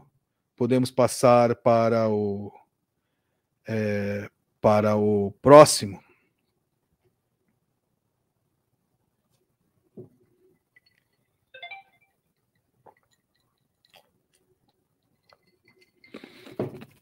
Quando vocês me respondem, a gente pode passar para o próximo. É, vamos ver o que, que o pessoal está falando aqui. Beto Barbera, como um bom defensor do 3220, está aqui falando para o Octavio que o 3220 lembra o 357 e tem uma performance muito boa para caça de ava porco e similar. Se você carregar o 3220 assim, né? O original ele é mais fraquinho. Aí o Glauber perguntando se o outro autor do livro de conversão de estojo é o Jorge Nonte. Ele fez um livro, mas não era desse que eu queria falar, é um outro. Que ele é mais completo, ele é mais completo que o livro do Donnelly. Mas na verdade você tem que ter os dois. Um complementa o outro, que tem um, não tem no outro. Mas esses livros de conversão de estojo, basicamente eles são todos iguais. Se você estiver buscando somente é, a referência para você converter estojo, tá? Se você quiser um pouco mais de história, um pouco mais de detalhamento, esse outro livro, que é o que me fugiu a cabeça, ele é melhor. Ele tá mais, ele é mais completo nesse aspecto. Mas para você usar como referência só para conversão, todos eles funcionam muito bem. Dá para você buscar. Aí João dizendo que depois da explicação no Harada achou a sequência e achou legal. 44, 40, 38, 40, 32, 20, 25, 20. É, o 32, 20 e o 25, 20, eles são originários do mesmo, da mesma base de estojo. Assim como 38, 40 e 44, 40. Mas não, não se fia em 100% na nomenclatura, tá? Porque muitas vezes ele não corresponde a nada disso. Aí vou ajudar o Beto Barbera que ele quer estojo de 3220 e ele troca por paçoquinha caso você consiga. Matheus perguntando para que serve essa cinta. Essa cinta, na verdade, é para fazer headspace igual faz revólver. É, o limite da câmera é dado pelo aro. Só que em calibre de em calibre de fuzil que você começou, porque nos calibres de caça africana tanto faz que isso não vai mudar em absolutamente nada a precisão que você vai obter ou a precisão que você necessita para esse tipo de caça. Mas quando começaram a trazer isso, esse tipo de calibre para calibre de ferrolho, na prática já, já se sabe que calibre de garrafa é melhor você fazer o headspace ou no ombro, ou melhor ainda, até na boca do estojo, do jeito que é pistola semiautomática. Então, hoje ele virou somente um apêndice estético. E, tipo, durante muito tempo já foi um status, né? Aproveitando, vai parecer que eu estou falando mal gratuitamente do 7 Remington Magno, mas não é. O 7 Remington Magno tem esse status de calibre magno, mas ele não é, ele não é muito mais forte que um 3006. Mas ele tem essa cinta, então é para você chegar e falar, ó, eu atiro de um calibre belted magnum. Em alguns casos, isso significa alguma coisa. Mas para termos práticos, ele é só para fazer o headspace igual faz revólver.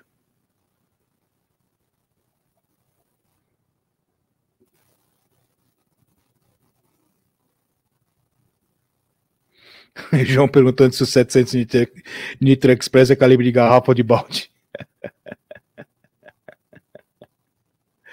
Aí o Beto Barbera perguntando se todo mundo aqui sabe o que é Headspace. Todo mundo sabe o que é Headspace? Quem não souber o que é Headspace, dá um grito. Que se eu não conseguir explicar, o Beto Barbera, ele explica. Então, basicamente, a gente tem isso. Com isso que vocês, esses elementos que vocês têm agora, vocês vão conseguir entender três quartos dos calibres que estão nesses manuais americanos. Três quartos. Esses outros um quarto, eles se referem a quê?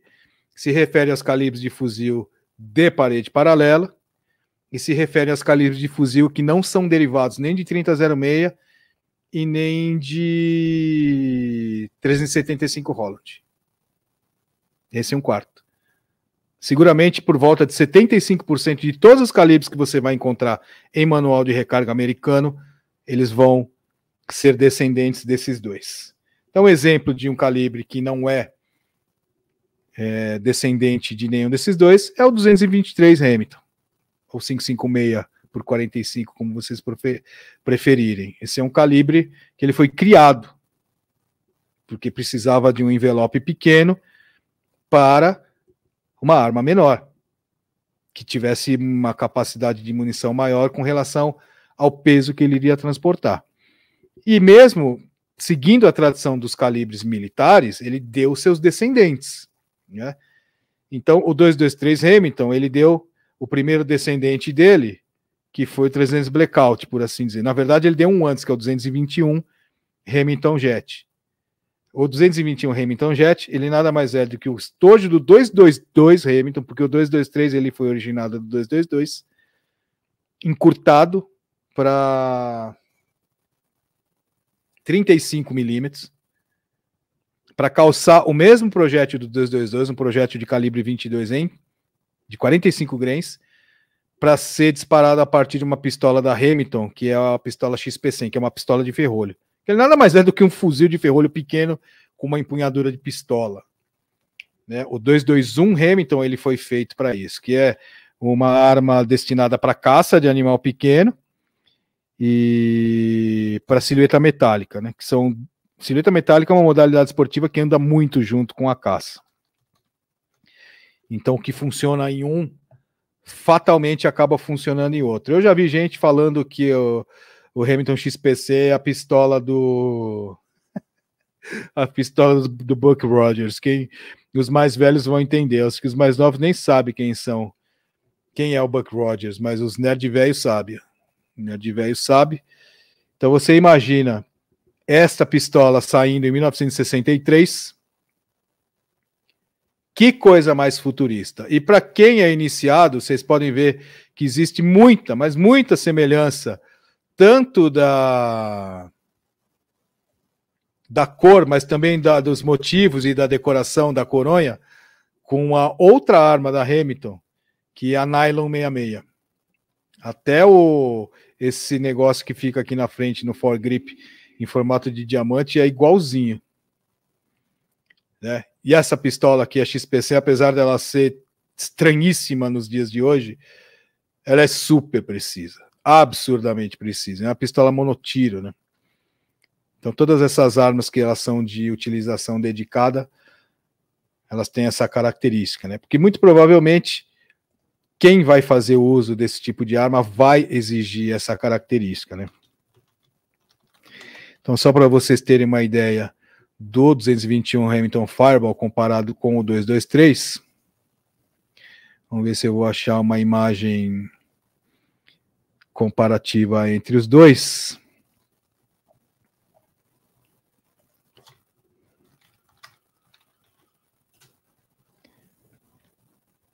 Será? Ó, oh, isso aqui veio até com uma de quebra, hein? Uma mais de quebra.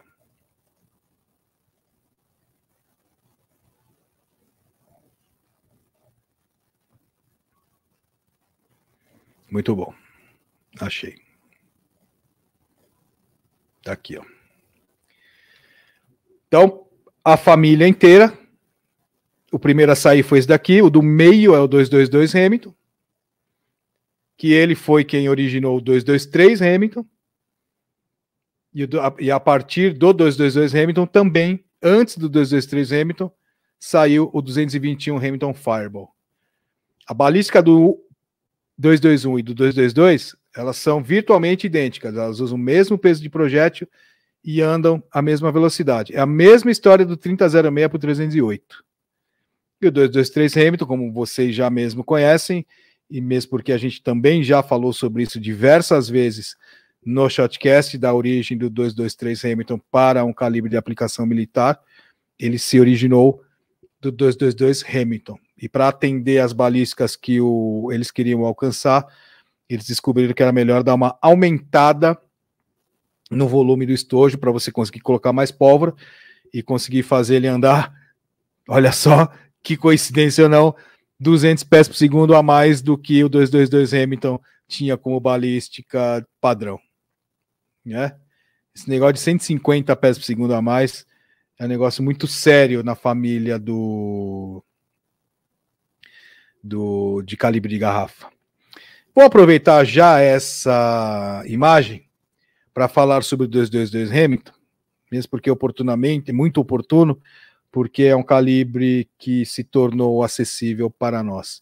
Para efeitos práticos de utilização civil, o 222 Hamilton ele não fica muito a dever com relação ao 223 Hamilton, que comparando a balística padrão dos dois, o 222 Hamilton é mais comum ele ser utilizado com projetos de 45 grains, 50, e o 223 ele foi originado para ser utilizado com é, projetos de 55 grains.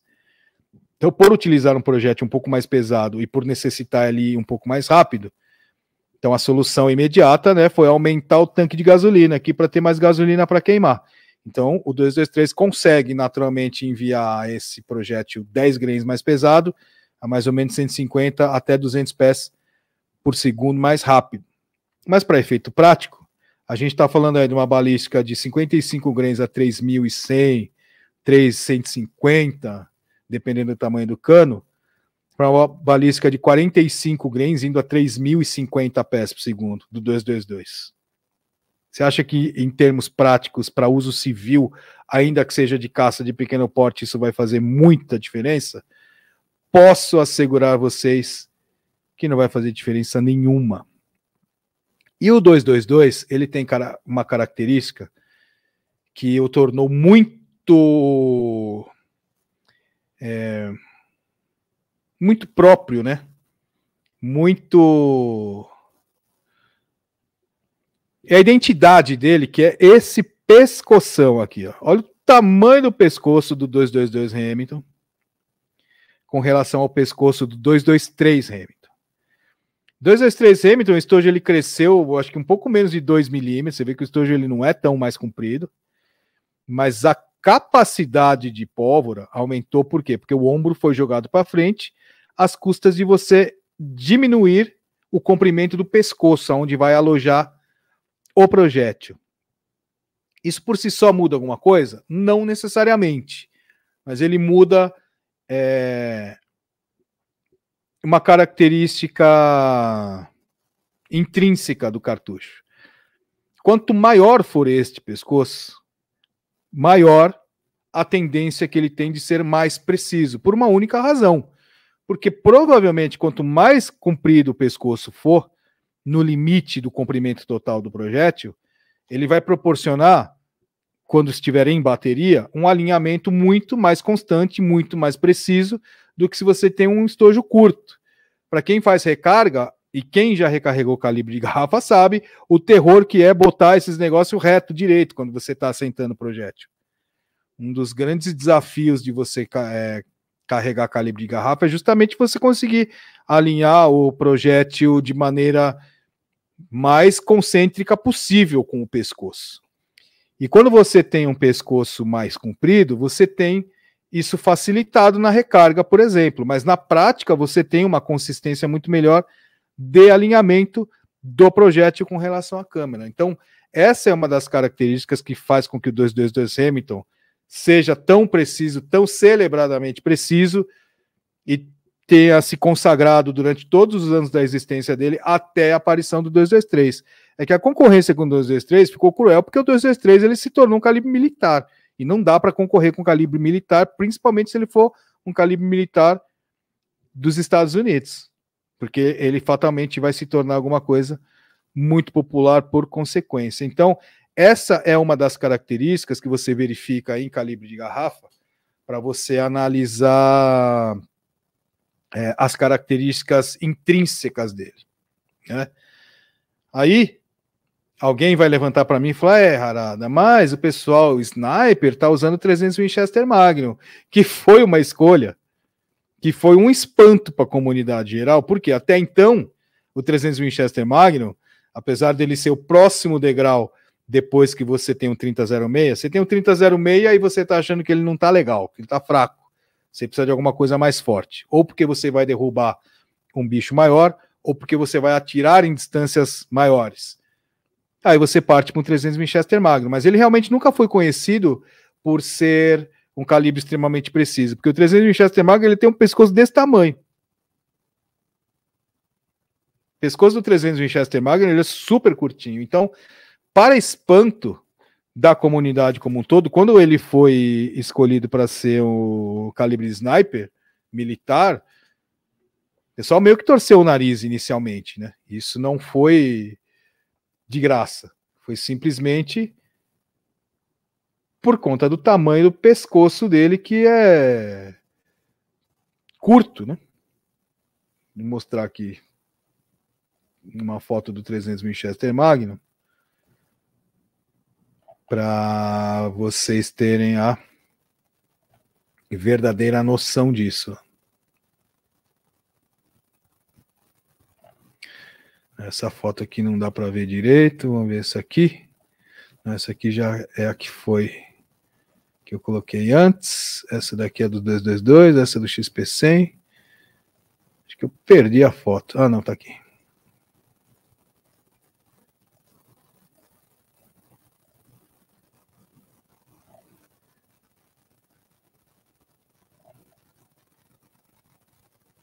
Muito bom. Que agora dá para ver. Vejam vocês como o pescoço do 300 Winchester Magnum é curto. À direita tem o 375 Holland Holland e à esquerda temos o 338 Winchester Magnum, que nada mais é do que o estojo do 375 Holland Holland fechado para receber um projétil de diâmetro 338, ponto 338 polegadas. Olha só, ele é basicamente o irmãozinho do 300 Winchester Magnum com a boca um pouco maior. O resto do estojo dos três, vocês podem ver que ele é dado do ombro para baixo, eles são idênticos, né? Mas aqui no meio, o estojo do meio é o 300 Winchester Magnum. Olha como o pescoço dele é curto.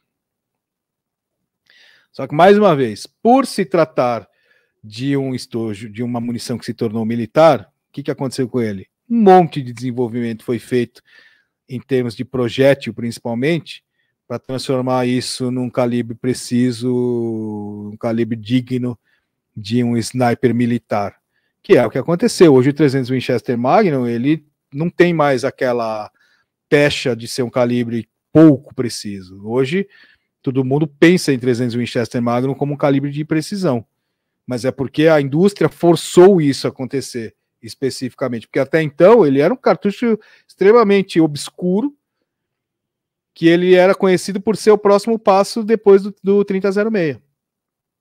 Mas está aí, 300 Winchester Magnum, que é a mesma evolução, o 300 Winchester Magnum ele usufruiu, ele desfrutou a mesma evolução que foi dada para o 556 45, ou 223 Hamilton na versão civil.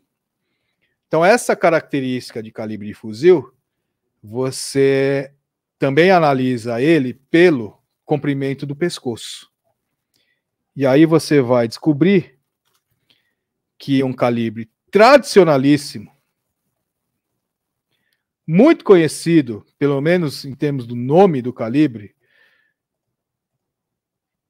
é, ele tem exatamente essas duas características. Olha só que beleza. Então, do lado esquerdo, nós temos o 3030 Winchester e do lado direito, para comparação, o 3006. Agora que vocês já conhecem, 3006, 3030, ele é um calibre anterior ao 3006. Ele é o primeiro calibre americano de pólvora química.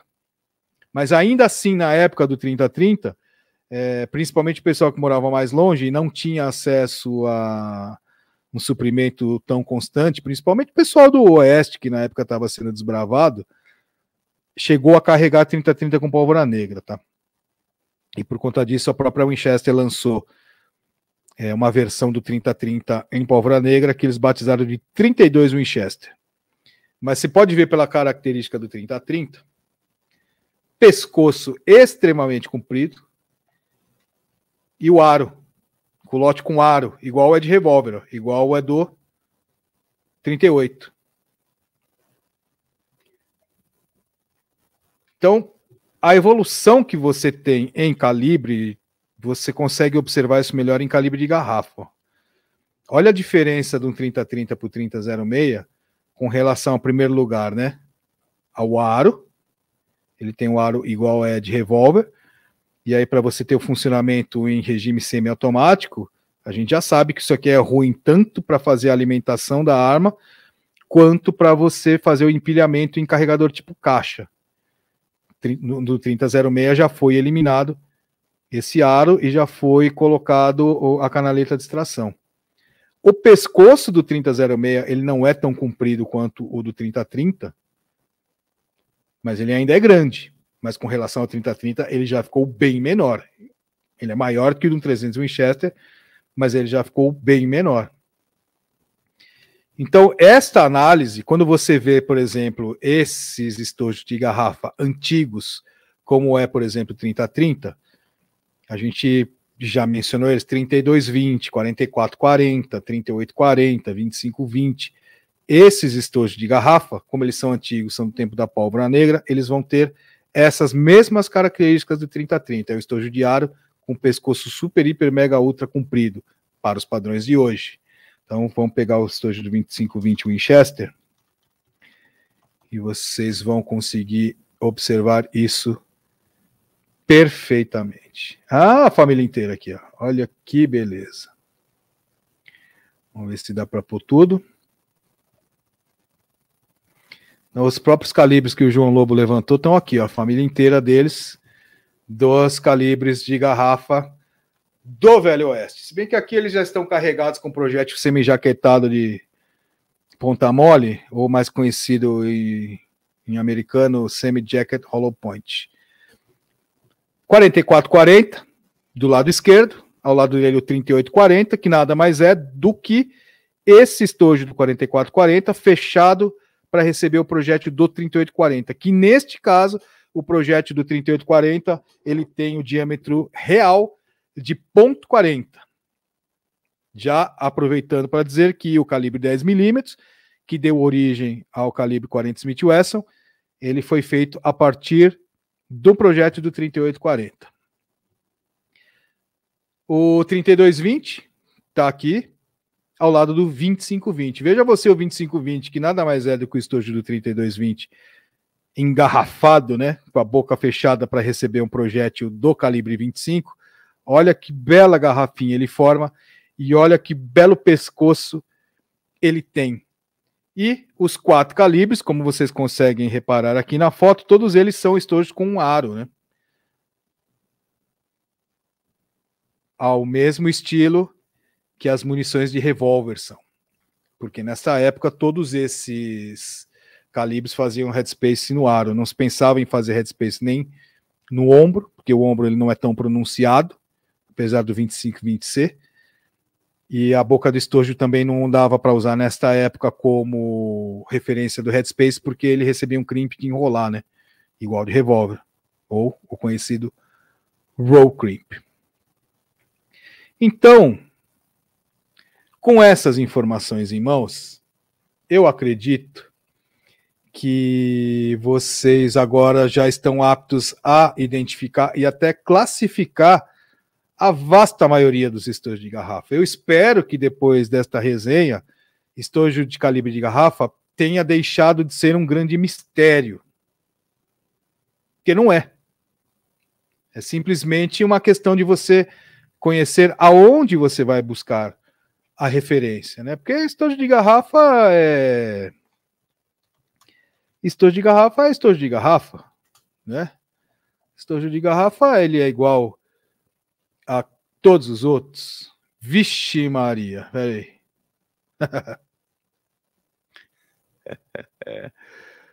aí, ó, eu não sei se eu vou fazer isso, mas é porque aí também você pegou pesadíssimo, hein, ô Maurão? Mauro Vitor Barros não dá moleza para ninguém, ó. Aí ele tirou, mandou a foto de uns estojos que ele tirou, que é para gente, a proposta dele é para gente usar isso como um quiz, é para vocês adivinharem qual é a, quais são as munições que estão aqui, ó. Ixi. Será? Eu acho que ainda precisa de um pouco mais de elementos, né? Para o pessoal começar a diferenciar. Mas, por exemplo, só de bater o olho, só de bater o olho, eu sei qual calibre é esse aqui, ó. Porque ele já me entrega algumas coisas que é muito característico deste calibre em específico. Em primeiro lugar, o aro. Em segundo lugar, o tamanho dele. Eu consigo ver o tamanho dele com relação aos outros, porque ele é muito maior. E aí, tanto o aro quanto o tamanho dele em relação aos outros me entrega que calibre é esse. Por exemplo, dá para deduzir que calibre é esse daqui. Mas isso não acontece com todos os outros. Por exemplo, esse calibre aqui do meio, que eu sei qual que é, mesmo ele estando ao lado desse daqui, que eu também sei qual que é, mas eu admito que é muito difícil de você bater o olho tanto nesse como esse primeiro, de você intuir qual calibre que é, porque eles não têm características que são muito marcantes. Mas eu vou publicar isso aí, eu vou deixar tanto na aba de comunidades, eu vou pedir para o Celso publicar isso no perfil do Instagram, para deixar isso como um desafio pessoal, valendo uma caneca de shotcast, tá?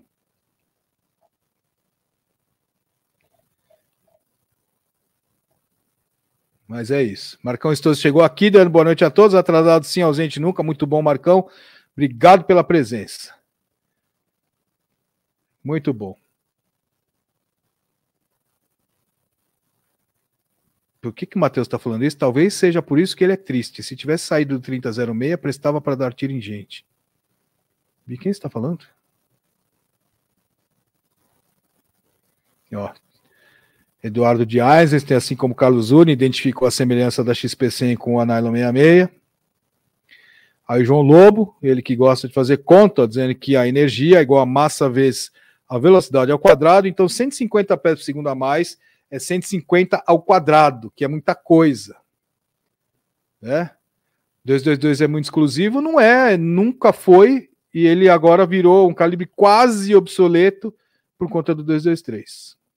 O 222 ele recebeu, o 223 recebeu um desenvolvimento tal que hoje talvez eu me arrisco a dizer, em algumas configurações ele é mais preciso que o 222, mas eu posso te falar, o 222 tem seu charme, viu? O 222 tem o seu charme. E aí o Matheus já levantando aquela questão polêmica, se tem muita diferença no desempenho do 223 para o 556. Salvo engano, em 20 polegadas, o 556 dá uns 3.300 pés por segundo, que não dá grandes coisas, em se tratando de energia. Para não me aprofundar no assunto mais do que deve, o 223 para o 556, eles têm muito mais semelhanças entre si do que diferenças. Aliás, eles são muito mais parecidos entre si do que o 38 com o 357, para você ter uma ideia de como eles são muito parecidos. Ao contrário do 308 com o 762. 223 e 556, eles são basicamente a mesma coisa. O que normalmente costuma mudar de 223 para 556 é a arma, não a munição. E você pode usar tranquilamente uma na outra. Isso já foi testado, retestado, aprovado e comprovado diversas vezes por diversos é, testes diferentes em locais, em instâncias e circunstâncias diferentes, tá? Eles são basicamente a mesma merda. Ô, oh, peixeiro Diego, Grunho está aqui. Muito bom, seu Diego. Obrigado pela presença. Obrigado pela recepção no sábado no CTR Rangers. Mais uma edição de Tira o Prato Metálico realizado. Muito obrigado, viu? É... que mais? Ah, o Matheus falando do 30-30, é um caso onde o por 51 não significa mesmo que o por 51 de 762 nato, e muito menos do 6.8 Zig Fury. Significa, cara. Você quer ver a foto do 3030 do lado do 308? Dimensionalmente, em termos de altura, eles são muito parecidos. Inclusive, até tem um corte do Shotcast comparando os dois, mais o 3006. Aqui, ó.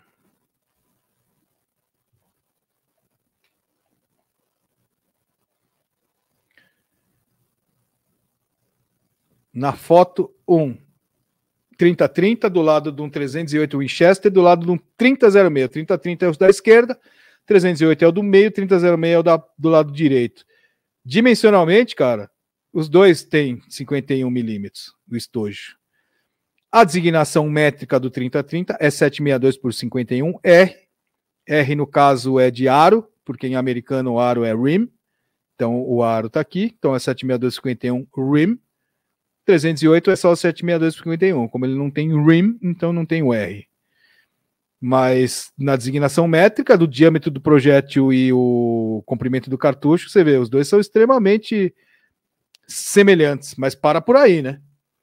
para por aí, porque a característica dos dois, 308 é bem mais forte, trabalha num regime de pressão bem mais alto e manda o projeto do mesmo peso bem mais rápido, né? Muito bom. Tá acontecendo alguma coisa aqui no meu computador. O que, que é isso aqui que apareceu? Não quero ver isso. Ah, muito bom. Bicho Papão, boa noite, senhor cantor Harada, muito obrigado pela presença, viu, professor Júnior? Fazia tempo que você não dava as caras por aqui, né? Aí João Lobo já reparou aqui, o estojo de garrafa é 3006 e 375 Holland Holland, modificado para outras munições em 80% dos casos. Como ultimamente, é, se você fizer uma linha do tempo dos calibres de garrafa, você vai ver que teve uma evolução que é muito notada, é muito clara isso. A partir da Primeira Guerra Mundial, eu estou dizendo isso num contexto americano, tá? O contexto europeu é parecido, mas ele, é, ele tem suas diferenças, principalmente pelo fato da diferença do acesso dos civis ao armamento militar, coisa que nos Estados Unidos nunca teve essa restrição. Então, inicialmente, você teve essas conversões de calibres militares em outros calibres, essas derivações, né? pegar o 3006, encurtar, fechar a boca, colocar um projétil menor, mais estreito, mais leve. Isso, isso foi uma onda.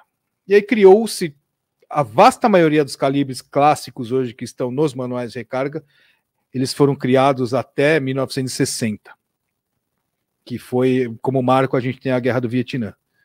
Então podemos incluir, inclusive, o 223 dentro desses desenvolvimentos desse período. A partir de 1960, começou a ter um outro modismo. O, os lançamentos, os Wildcat, eles começaram a servir, e até eu, hoje a gente usa isso como piada, mas na época era uma terminologia muito corrente. Ah, este novo calibre, ele nasceu para preencher o gap entre tal calibre e tal calibre. É? Então, por exemplo, se você pegar qual exemplo mais 308 Winchester, ele nasceu para preencher o gap que existia entre o 300 Savage e o 3006. Por exemplo, porque o 3006 tem um volume maior, então você em tese conseguiria fazer um projeto de mesmo peso e andar mais rápido. Mas o 300 Savage ele era é, um volume menor, então potencialmente o potencial dele a ser explorado era menor. Então inventou-se uma série de diversos calibres que eram calibres de preencher o gap. Aí depois desses calibres de preencher o gap, é, que permanece, isso permaneceu até mais ou menos nos anos 2000. de 1960 aos anos 2000. Tiveram os modismos intermediários. Por exemplo, a criação de Belted Magnum. Então, todos os calibres Belted Magnum possíveis e imagináveis de todas as famílias de projéteis, eles foram criados dentro desse período. Então, ah, é um novo Belted Magnum, que foi criado para preencher o gap entre um calibre e o outro. E por assim vai. Então, essa diferença de um calibre e outro começou a diminuir de 200 para 150 para 100. Porque nada nada, se você diminuir 100 pés por segundo num tiro de fuzil, você diminui substancialmente o recuo que você vai sentir. Principalmente se for de calibre grande. Então, isso faz diferença? Faz diferença. Para dizer assim, uma colocação bem objetiva e direta. Faz diferença? Faz. Mas faz diferença para fazer diferença? Vai depender da pessoa. Né? Então, por exemplo, 7 Remington Magnum tem a balística muito parecida com o do 3006. É, 7 Remington Magnum, a balística de referência é mandar um projétil de 140 grains a 1.200 pés por segundo. Se você pegar o 3006 num projétil de 150 pés por segundo, você está mandando isso hoje a 3 mil pés. Esses 200 pés a menos que o 3006 ele manda é, faz diferença no recuo? Faz. Esses 10 grains a menos no projétil do 7 Remington Magnum dá uma aliviada no recuo? Dá. Mas vai variar de quem é sensível, mais sensível ou menos sensível. Mas esse é um primeiro ponto, né? Aí, nos anos 2000, a partir dos anos 2000, começou o modismo do short magnum. E aí o short magnum nada mais é do que a reprodução de algum magnum que já existia, no caso, a reprodução do 300 Winchester Magnum, do 7 Remington Magnum, é, do 338 Winchester Magnum, e aí eles começaram a diminuir o tamanho do estojo, mas preservando a balística do Magnum original. Só que para isso eles começaram a usar estojos com maior volume embaixo. Que aí o 375 Holland Holland Magnum não, não atendia mais. Então, esses calibres Short Magnum de hoje, todos eles são baseados num outro calibre africano, que é o 414 Jeffrey.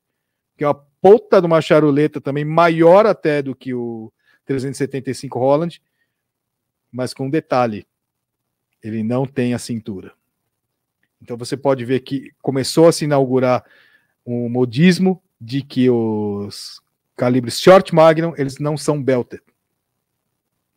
E a vantagem de você fazer um calibre mais com estojo mais curto é porque você precisa de uma ação de ferrolho ainda mais curta. E muitas vezes, algumas vezes até, algumas iniciativas eles tiveram de calçar esses calibres short magnum em plataformas semiautomáticas por conta disso. Muito bom.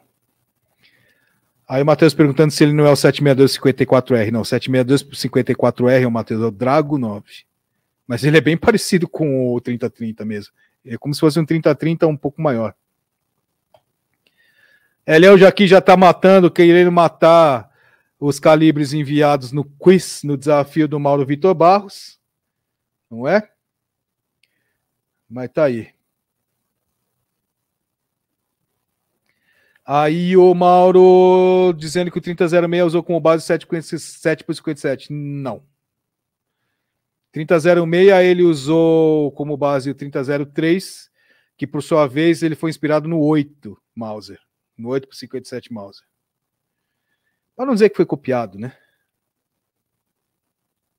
Mas não é de todo errado você dizer que ele foi baseado em 757, mas na verdade ele foi inspirado no 8 por 57 Mauser. O 7 por 57 Mauser, por sua vez, é um 8 fechado para 7 milímetros. Não é? Aí o Carlos Uni dizendo que então essa coisa de não poder atirar 556 em arma para 223 é mais uma das lendas do mundo do tiro.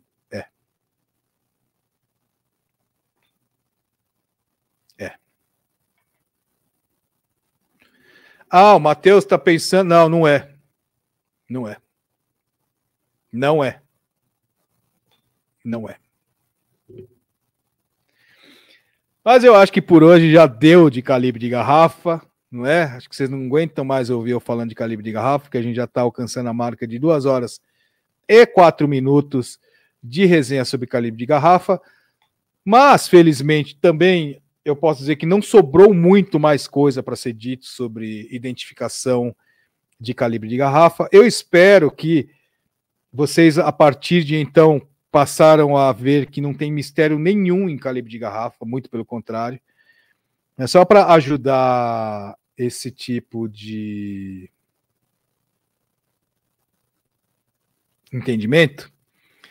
É, no universo de calibre de garrafa, você pode partir do princípio que tamanho é documento.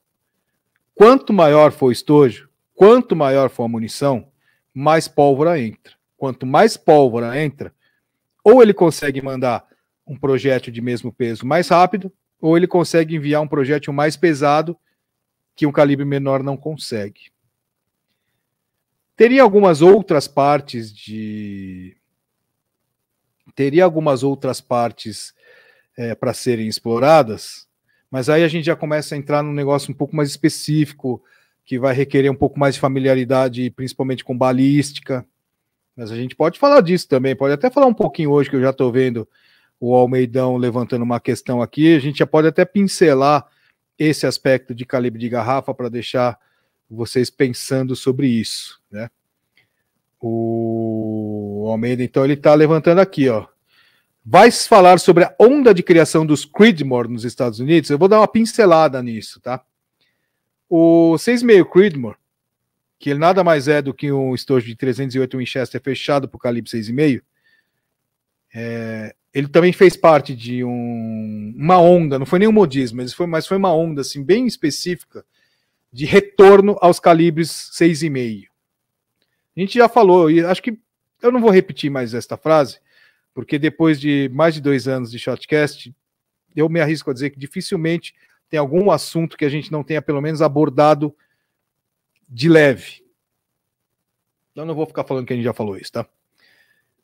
É, teve um momento onde teve uma, uma busca né, de coisas no, é, nos calibres de 6,5 milímetros. Na verdade, a busca ali foi entre os calibres 6 milímetros até o calibre 7 milímetros. Os calibres entre 6 e 7 milímetros, eles possuem, por característica física da natureza, isso, a maior densidade seccional que você consegue dentro de um peso de projétil prático. Porque quanto mais, quanto menor for o diâmetro do projétil, vamos falar de uma, de uma maneira bem chula, assim, mas para facilitar o entendimento, mais concentrado ele vai ficar o peso. Na verdade, teria uma outra forma academicamente mais correta para falar, mais correta não, né? Uma forma academicamente correta para falar disso, mas eu acho que a gente ia tá, tornar uma, um negócio que era para ser simples, que eu vou fazer só a menção para fazer essa exposição. Então teve um, um, uma onda de criação de calibres 6,5. Especificamente os mais populares foram o 6,5 Creedmoor e o 6,5 Grandel. 6,5 Creedmoor, ele nasceu desta ideia de que o 308 em longas distâncias, ou médias e longas distâncias, ou em outras palavras, a partir de 300 metros, por conta desta característica da densidade seccional de calibre 30, ele ser menor de calibre 6,5, então eles fizeram 6,5 Creedmoor para ser usado em plataformas que já calçassem 308, ou seja, usa o mesmo fuzil, daria para colocar no mesmo tipo de é, plataforma semiautomática do que 308, só trocando o cano. E aí você conseguiria um disparo em longa distância maior. Eu vou falar para você, mesmo nos Estados Unidos, se arrumar um cara que atira de fuzil a mais de 300 metros já é difícil. Mesmo nos Estados Unidos, arrumar local para você dar disparo acima de 300 metros é difícil. E para você efetivamente conseguir ver essa vantagem do 6.000 Creedman para 308, você tem que começar a tirar a partir de 300 metros. Eu diria até mais, a partir de 600 metros. Mas a partir de 600 metros também, 6,5 Creedmoor, ele não é aquela maravilha, ele não é a melhor opção que você pode fazer. Mas uma coisa, ele é, ele melhora com relação ao 308. Como ele usa um projétil ligeiramente mais leve, ele vai dar menos recuo. Então, muitas das, das vezes que você tem essa conversão de calibre de diminuir o diâmetro do projétil para um projétil de diâmetro menor, consequentemente você também acaba diminuindo um pouco o peso do projétil. E aí diminui o recuo. Só que é aquela coisa, né? Se recua, é um negócio que é tão subjetivo que é difícil de fazer. E no caso do 6,5 Grandel, por exemplo, que ele nada mais é do que o estojo do 762 por 39, né? O Kalashnikov fechado para calibre 6,5, ele veio daquela onda de você criar calibres novos, mais fortes que o 223, para você calçar em plataforma AR. Né? Então, esses dois calibres pontualmente, eles nasceram com esse intuito de você proporcionar uma balística melhor do que com os outros diâmetros de projétil, calibre 6,5. Dando uma pincelada, né? Muito bom. Densidade seccional? Exatamente, seu João. Densidade seccional. Né? Aí o Almeidão lembrando da expansão dos 22 com estojão. Pois é, mas na família de calibre 22, isso aí já está meio resolvido, mas por questões de limitações físicas e eu diria até mais tecnológicas, né? Porque o grande, a grande referência de 22 da família 22 é o 220 Swift. E o 220 Swift, cara, ele já é difícil o suficiente de ser trabalhado. Porque o 220 Swift ele tem como referência você conseguir mandar um projeto de 45 grains acima de 4 mil pés por segundo. Por que, que ele é difícil de ser trabalhado? Primeiro, porque nessa característica de balística interna, você tem uma erosão de cano assim absurdamente absurda. Se você usar essa munição em 220 Swift é, com regularidade, ou se você só usar esta munição, dificilmente seu cano vai durar mil tiros, por exemplo. Mas para um cano de caça, para uma arma de caça, mil tiros é tiro para dedéu. Então talvez quem usa não vai se importar. Mas no caso do 220 Swift, por ser um calibre 22, ele é calibre de varmint, né? Você não vai caçar viado com isso. Ou pelo menos não deveria. Aí você vai caçar marmota, cão da pradaria e todos esses bichos, rock chuck, que dá nos Estados Unidos. E aí você dá tiro para dedéu, mil tiros talvez não seja o suficiente. E aí toda a profusão de calibres que você conseguir inventar fechando o pescoço para calçar um calibre 22, você vai cair no mesmo problema do 220 Swift, que já tem problema o suficiente. Mas tem, é verdade, pessoal lá cria. Todo dia deve ter alguém inventando um Wildcat diferente. Aí o Maurão, lembrando que o cara Mojobel derrubava o elefante com fraco 6,5 por 54 atirando. Ele usava o 7, né?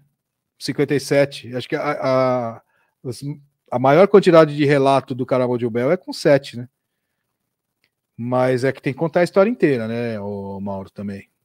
Porque ele pegava esses fuzil Mauser e dava um tiro de baixo para cima assim no céu da boca do bichinho. Aí quem que aguenta? Quem que aguenta um negócio desse? Ninguém, né? Nem mesmo coitadinho do elefante. Aí o Hélio levantando uma outra questão que também começa a envolver quando você dá tiro de longa distância, o arrasto lateral do vento afeta menos no 6,5 Creedmoor. Então, essa discussão, Maurão Vitor Barros está aqui que ele pode até dar asas para essa discussão, Hélio, porque o Mauro ele é atirador de F-Class. Para quem não sabe, F-Class é uma modalidade de tiro de longa distância, que você usa principalmente fuzil de ferrolho. Vai depender do peso do projétil, né? Arrasto lateral ele tem mais a ver com o peso do projeto do que com o diâmetro propriamente. O diâmetro também influencia, mas o peso influencia mais. Mas isso é uma discussão, cara, que não tem fim. Porque do mesmo jeito que existe a discussão de qual é o melhor calibre para arma curta, fica na disputa do 9, do 40, do 45, existe essa discussão também em calibre de arma longa. Você acha que ia passar batido? Todo mundo é unânime em calibre de arma longa, ao contrário do que é em calibre de arma curta. Eu diria mais até, o Maurão está aqui que pode me confirmar essa informação ou não. Eu acho que essa discussão em calibre de arma longa é até pior. Porque esta discussão ela começa na comparação de calibre 7mm e calibre 30. E mais modernamente hoje você tem a discussão entre os calibres 7, 6,5 e o calibre 6mm. 6mm, esses calibres na família de designação americana é o calibre é, 24, 243. O, o 6,5 é o 264 e o 7 é o 270. 7mm verdadeiro, né? Que na verdade é uma outra família, 277. Porque o 7mm na família de designação americana é o 284. Então tem uma discussão também lá dessa disputa, qual calibre que é melhor é, com relação a essa característica. E por aí vai. Infelizmente, aqui no Brasil, a gente não tem acesso a esta profusão toda de calibres de garrafa. Mas é super legal. Já teve um tempo onde isso foi possível, não com tanta variedade como nos Estados Unidos, mas a gente brincou muito. Foi a época que eu atirei de fuzil na extinta ABAR, Associação Brasileira dos Atiradores de Rifle, né, cujo presidente durante muito tempo foi Coronel Vela, e ele que abriu muitas portas dos estantes militares para a gente dar tiro de 200, 300, 400 metros. Longe para Dedéu, viu? Eu vou falar uma coisa para você. Ainda mais se for de mira aberta, né? Aí, a partir dessas distâncias, 300 metros acho que é uma referência boa. 300 metros começa a separar os homens dos meninos. Basicamente, é isso. Mas eu espero que com o que a gente debateu hoje, com o que foi exposto hoje, vocês já consigam desmistificar sobre calibre de garrafa. Tem bastante coisa para ser dito com relação a calibre de garrafa ainda, que são as diferenças entre eles e o que um traz de melhor, de vantagem do que o outro. Mas a, vamos dizer que 95% do assunto já foi abordado hoje. O resto é com relação a diferenças de precisão intrínseca, é, diferenças de conformação do estojo, que você começa a relacionar com a parte histórica de por que fizeram um negócio desse tipo. E outra coisa, né, além de dizer que em universo de estojo de garrafa tamanho é documento, de arma curta também é, né, mas é que isso em arma curta é um pouco menos evidente, mas em calibre de garrafa, tamanho é o que faz o diferencial. É que o calibre de garrafa ele tem muito de você utilizar ele para uma situação específica. E por conta disso, a indústria é muito mais ágil em transformar um calibre Wildcat em um calibre comercial do que isso aconteceria com arma curta. Então você tem uma série de calibres que já são comerciais. O que eu estou chamando de calibre comercial é quando ou a SAAME ou quando a CIP homologam o, o, a munição. Quando eles fazem isso, a gente pode chamar que o calibre ele é comercial. Então eles têm uma agilidade muito maior, por quê? Porque calibre de caça, principalmente, ele atende essas diferenças, essa miríade, essa variedade que você tem de calibre de garrafa, justamente porque apesar de balisticamente eles serem muito próximos, mas na prática eles conseguem atender de maneira mais completa em situações mais específicas. Então, esses calibres de garrafa, eles são a especialização da utilização da arma de fogo. Mas isso é um outro assunto, é um debate para um outro dia, é uma outra discussão que a gente pode também ter aqui nas nossas resenhas. Então eu já deixo meus agradecimentos mais uma vez para vocês por me fazerem companhia nesta resenha enquanto o Celso está curtindo o passeio dele. Mas semana que vem, muito provavelmente, se Deus quiser, ele estará de volta já com a gente. Mas por hoje, fica o meu abraço para vocês, meu agradecimento, abração, obrigado Maurão por mandar a foto do Chris que eu vou publicar aqui e deixar isso valendo uma caneca do Shotcast, tá? Ricardão, como sempre, comparecendo aqui. 20 já dá para sair, hein? Obrigado, Ricardo. Abração, tchau. Até a semana.